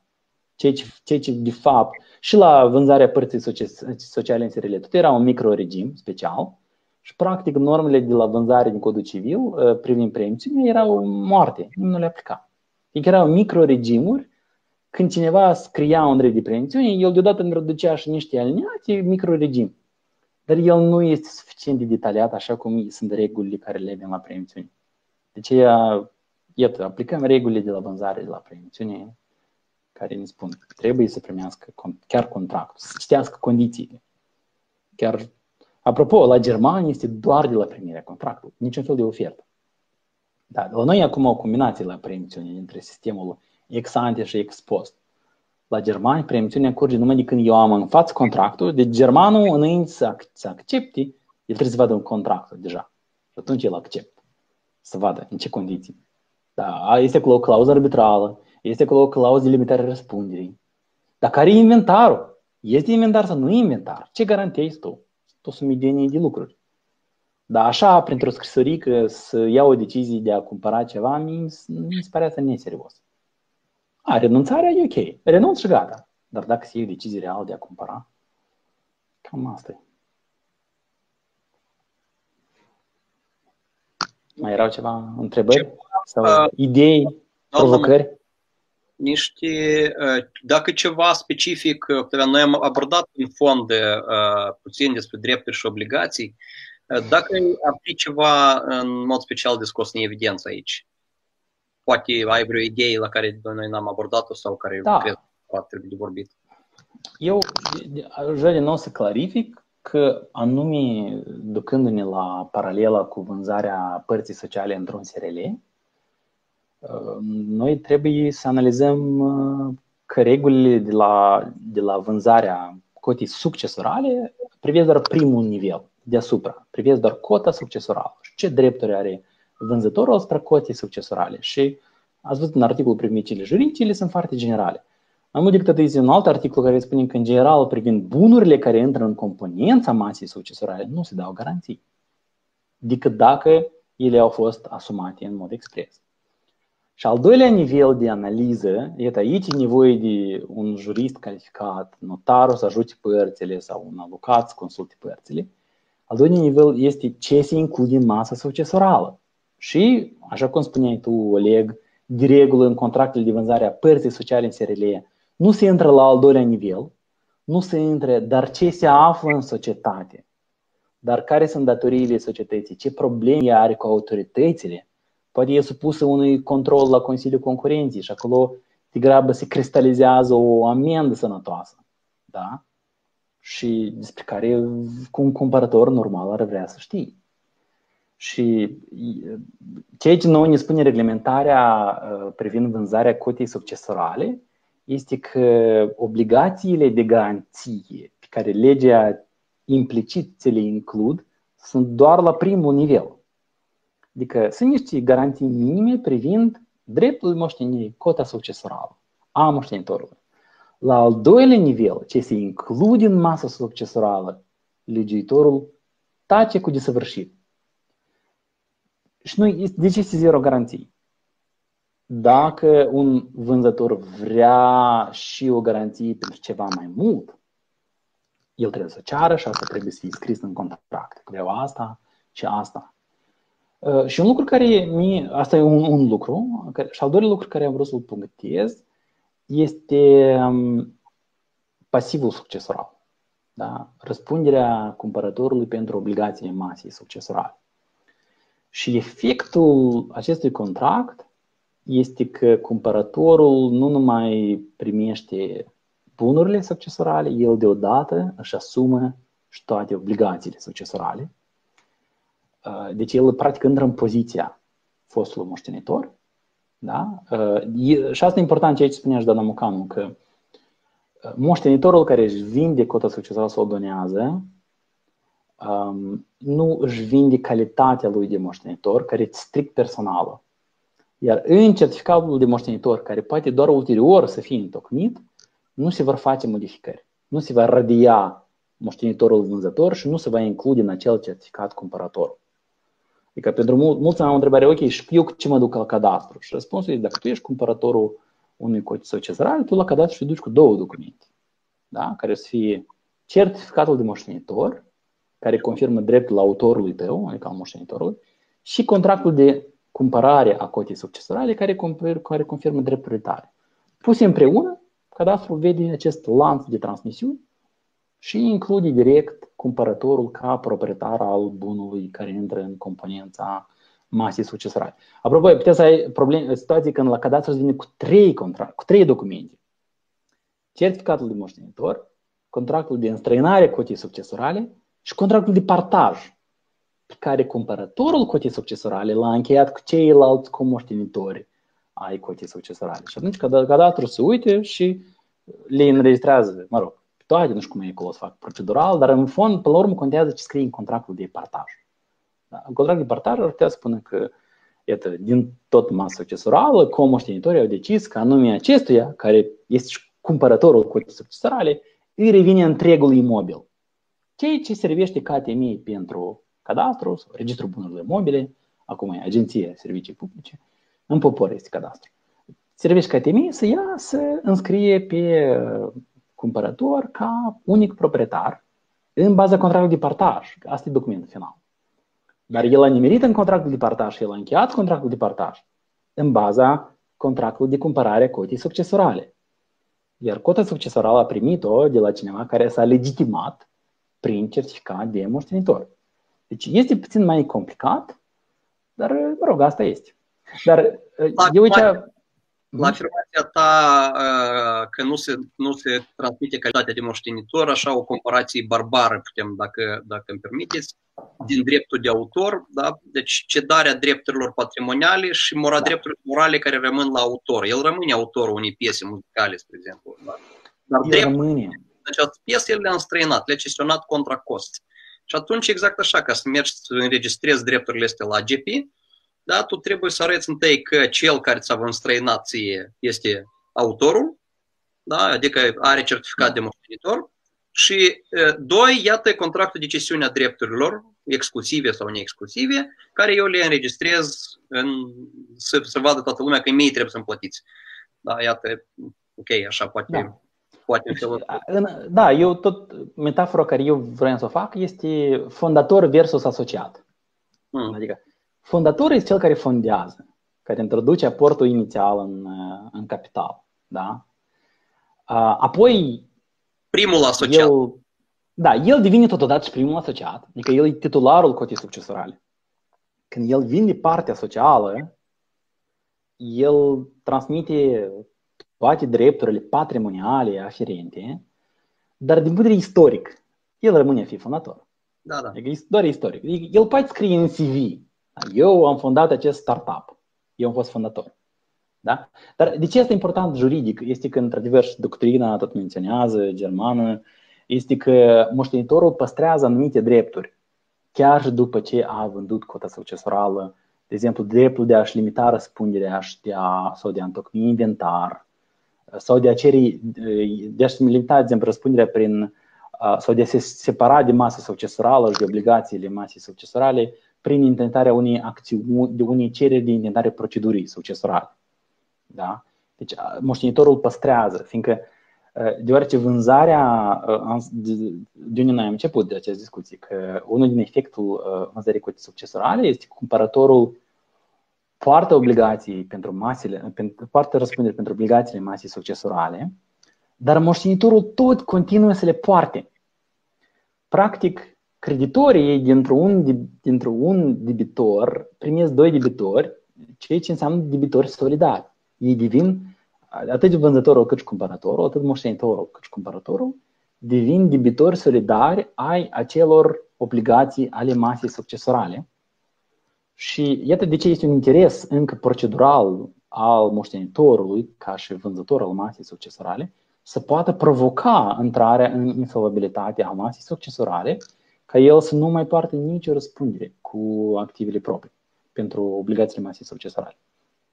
Dar aici este chestiunea apropo economică care foarte bine este reglementată uh, după modelul german, uh, care acum cât am trecut eu prin reglementare înainte de, de seminarul de astăzi uh, și este un articol care ține de preț. Care interesant, mi-a părut mie. Uh, în cod. Ta, ta, ta.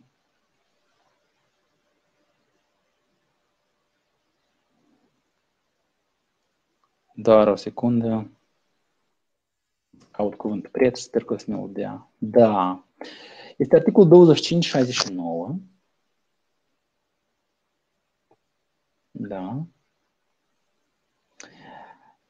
Și, dar până alineatul 2, da?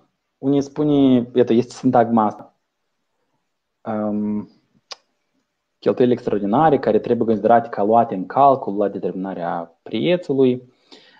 Dar uitați-vă și ce spune articolul 2568. Da? Ce ce vă spuneam. Cumpărătorul răspunde față de... Și observați, cumpărătorul răspunde față de vânzător pentru executarea obligației masei succesorale.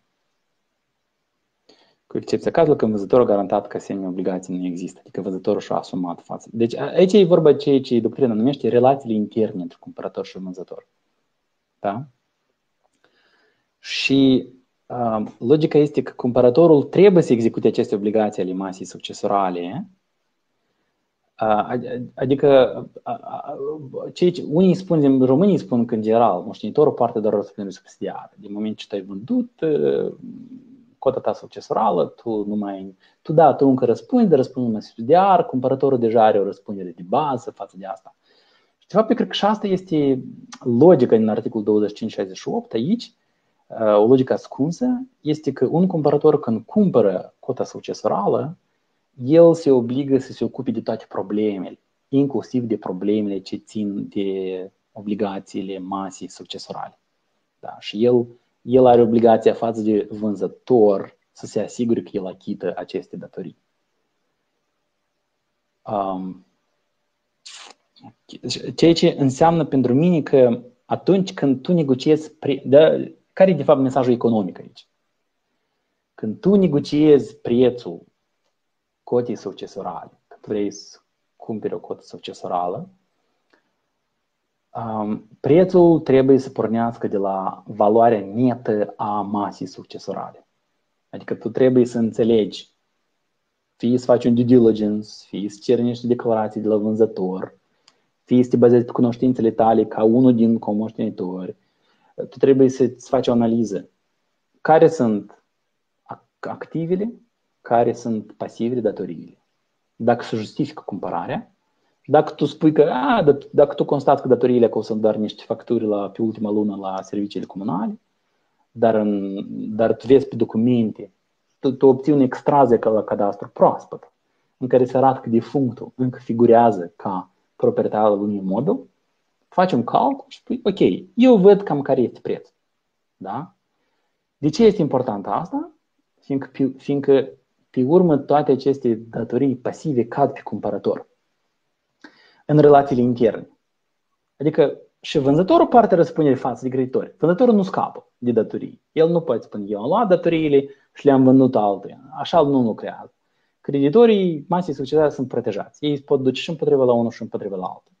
Dar în relațiile lor interne, cumpărătorul este cel care a cumpărat sarcina financiară. Și din nou, ca să înțelegem aceste lucruri, poate pentru unii asta sună mai complicat, exact ca la vânzarea părții sociale în SRL. Tu când cumperi un SRL, tu trebuie să analizezi bilanțul, dacă el este făcut corect și veritabil, bilanțul da? sau situațiile financiare, și să vezi care sunt activele, care sunt datoriile și, practic, valoarea companiei, ceea ce este la capital, la equity, da? capital propriu. Acolo este valoarea companiei. Și tu când negociezi prețul, tu nu trebuie să uiți numai la active, tu trebuie să uiți și la pasive, fiindcă tu când o să cumperi societatea comercială, tu o să tu îți asumi riscul că societatea o să rămână solvabilă și cu acele active va putea să acopere acele uh, datorii ale societății. Uh, ele rămân, pur și simplu, aici este și o diferență dintre vânzarea coții succesorale și părți sociale în SRL, fiindcă um, asociatul nu, ca regulă, nu poartă nicio răspundere pentru obligații. Ei, aici e diferit. Aici chiar titularul cotii succesorale poartă răspundere pentru obligațiile care sunt atașate uh, acelei cotii succesorale. Deci este un nivel mai, mai sofisticat de analiză. Dar pentru analiză primară, cum, a, cum v-ați gândi la vânzarea sau la cumpărarea părți sociale în țările, tot așa economic m-aș gândi și aici. Deci, iată ce, ce am vrut eu să clarific din, din partea mea. Nu știu dacă mai sunt întrebări. Doamna Mucanu? Da, eu doar o precizare, poate mai mult de ordin practic, că contractul de vânzare a cotei succesorale poate fi încheiat până la partajul masei succesorale, deci până când moștenitorii nu ies din indiviziune, chiar dacă uh, și-a înregistrat dreptul în, uh, sau dreptul de proprietate, baza certificatului moștenitor a fost înscris în registrele corespunzătoare de publicitate. Adică dreptul acționează la momentul deschiderii uh, moștenirii până la momentul uh, ieșirii din indiviziune, adică până la uh, partaj. Și văd aici o întrebare care a fost lăsată de Max. Dacă la vânzarea cotei până la eliberarea certificatului unui comoștenitor, la vânzarea cotii până la eliberarea certificatului unui comoștenitor, cumpărătorului de asemenea îi revine obligația de a garanta că este comoștenitor. Să are în vedere vânzarea ulterioară, probabil.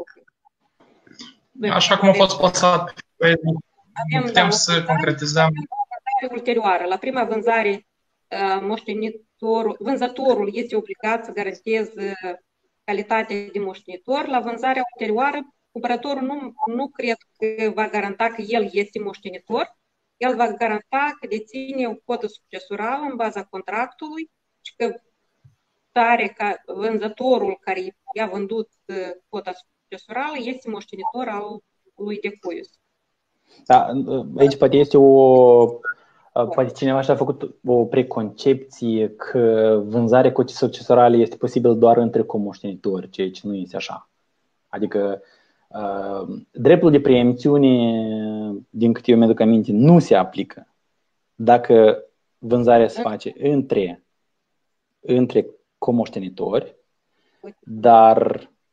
Uh, poftim? Încerc să citesc întrebarea. Eu am, da, eu dar, am, dar uh, preemțiunea apare când se... Revânzarea ulterioară. Revânzare. Da, vedeți cum e formulat 2488. Dacă un comoștenitor vinde cota sa succesorală unui terț, ceilalți comoștenitori au dreptul de preemțiune.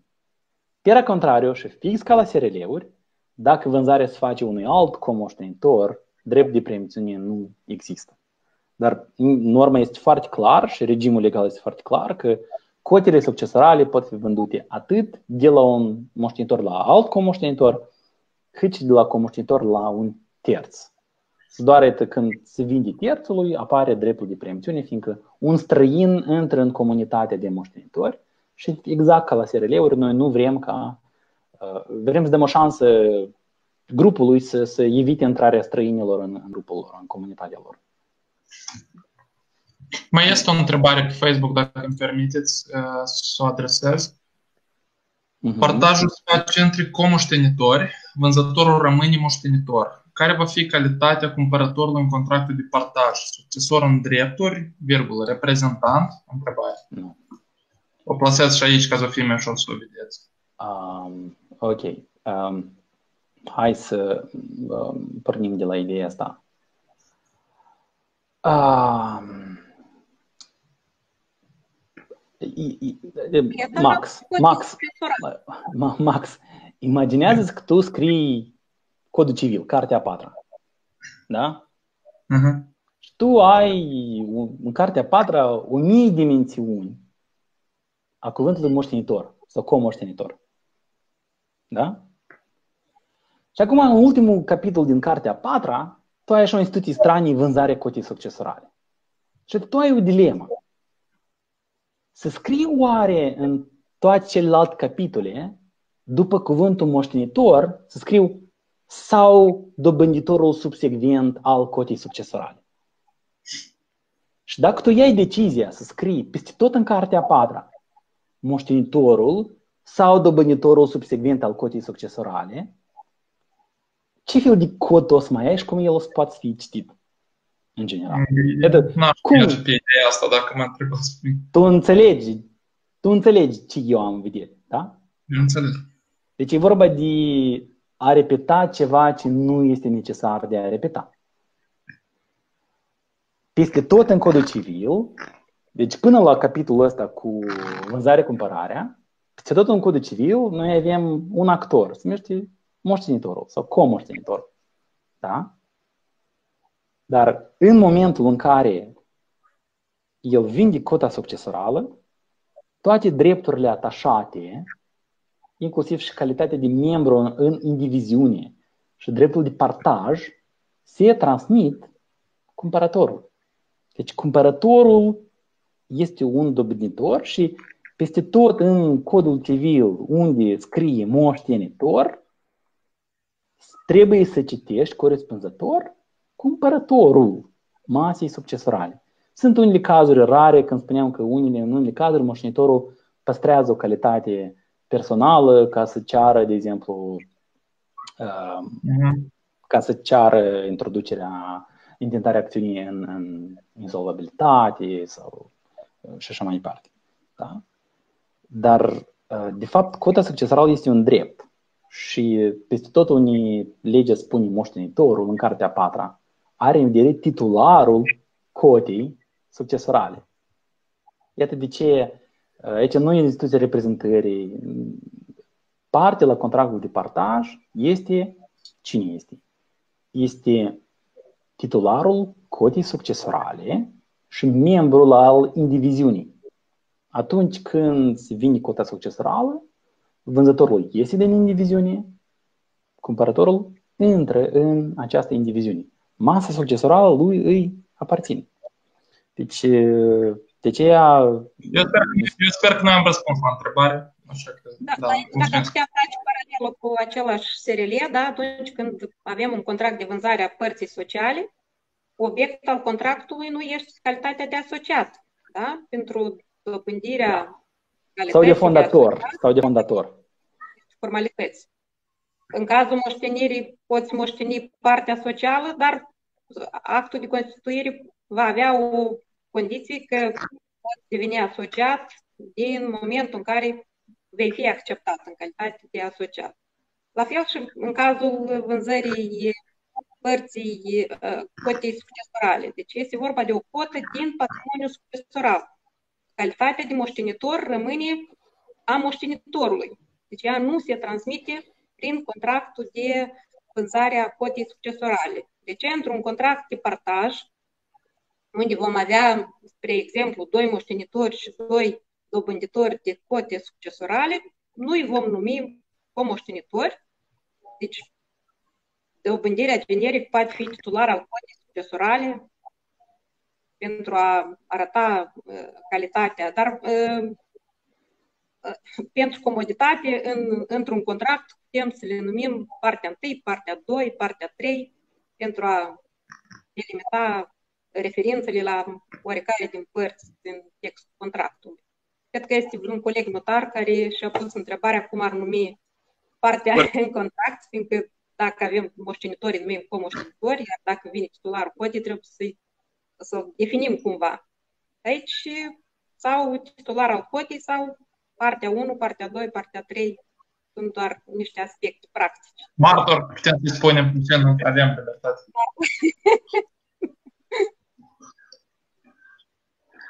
ok, eu cred că am răspuns la întrebare. Colegi, uh, noi uh, am ajuns exact ora 8 timpul să încheiem seara, în sensul dreptul civil în spațiu public și pe urmă să facem fiecare ce vrea. Dacă aveți ceva de, de, de mai spus la subiectul ăsta, ca de obicei, cei care ne, ne-au privit, care ne-au ascultat, pot formuleze întrebările care le apar ulterior după asta în chaturile noastre și noi o să încercăm să le readresăm speakerilor noștri de astăzi. Pentru mine a fost foarte cognitiv, interesant. Au zburat două ore, nici n-am observat cum. Sper că pentru voi. Nu știu, doamna Mocanu, Octavian, dacă vreți să mai spuneți. Mulțumim domnului Octavian. Deci am venit cu unele chestiuni la întâlnirea de astăzi. Unele au suferit schimbări Sper că a fost util pentru toți cei care au ascultat și scopul discuțiilor este de a da viață normelor legale care au intrat în vigoare din 1 martie 2019. Cât mai mult vom lărgi spectrul de știință, cu atât mai mult vom putea oferi cetățenilor opțiuni de a proceda într-un fel sau altul. Mulțumim mult, succes tuturor! Max? Uh, mulțumesc foarte mult. Eu, eu am privit cu, cu pasiune, cu dedicație, nu știu, cu o mare plăcere. Mulțumesc că ați găsit timp astăzi să-l dedicați uh, live-ului. Uh, mulțumim pentru share de cunoștințe, de opinii, mega interesant. Încep să-mi plac succesiunea. Era o parte din cod care așa eram mai departe, dar încep să mă apropie cu timpul și asta evident datorită, știți să spun, datorită DASP-ului poate să-ți placă un obiect, așa și datorită speaker-ului poate să-ți placă o temă, așa că vă mulțumesc foarte mult. Sper că nu este ultima noastră întrunire, live sau offline, nu contează. Tu erai ocupat de aia, am dat i-am, i-am dat cuvântul Marc. Da, da, eu mă uitam la notițele mele ce acolo am mai notat. De exemplu, ultimul lucru care l-am discutat, ce se întâmplă cu moștenitorul după ce el vinde și mă uitam în Germania, scriu că el rămâne moștenitor formal. Așa, așa îi spun în ghilimele. Și eu mi-am făcut o notiță acolo. Nu moștenitor. Da, adică, deși, știți cum, nudul proprietar totuși păstrează dreptul de dispoziție și la dânsul ar putea să revină toată proprietatea, știți? Dar de ce eu am zis că nu? Cred că nu de moștenitor, nu, nu, nu e idee bună. Mai ales că, mă rog, oamenii nu se pot duce la mare, stau acasă, să le vină ideea că și mai departe. Da, ah. pentru mine tot a fost, a fost o plăcere. Eu nu, da, eu am niște ore online, dar n-am dedicat acest subiect și cinstit nu l-am studiat. Dacă nu era invitația voastră de a avea această discuție, eu nu aveam să stau câteva ore să citesc, mai văd așa lucruri noi și, pe, și pentru mine. Tot. Trebuie să recunoaștem că este ideea doamnei Mocanu. Noi cu mare drag vă invităm să veniți cu alte sugestii de teme care să le discutăm. Noi suntem extrem deschiși să uh, uh, participăm la orice chestii legate de drept civil. Nouă ca nu proprietar sau ca uzufructuar? Ca martori. În, în limitele ordinii publice și a bunilor moravuri, sigur. Exact. Bunilor moravuri. Ah, okay. Exact. Mersi foarte mult la toată lumea și să aveți o seară frumoasă. Stăm acasă cu tâlc încă. Ok, stăm acasă. Salut tuturor! Seară frumoasă, colegi!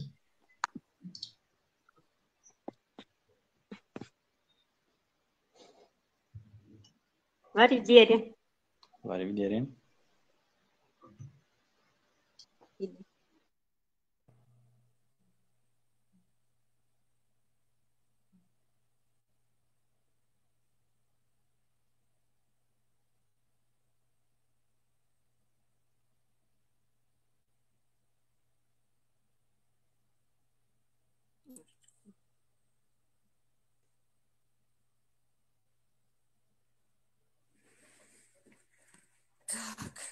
Милян.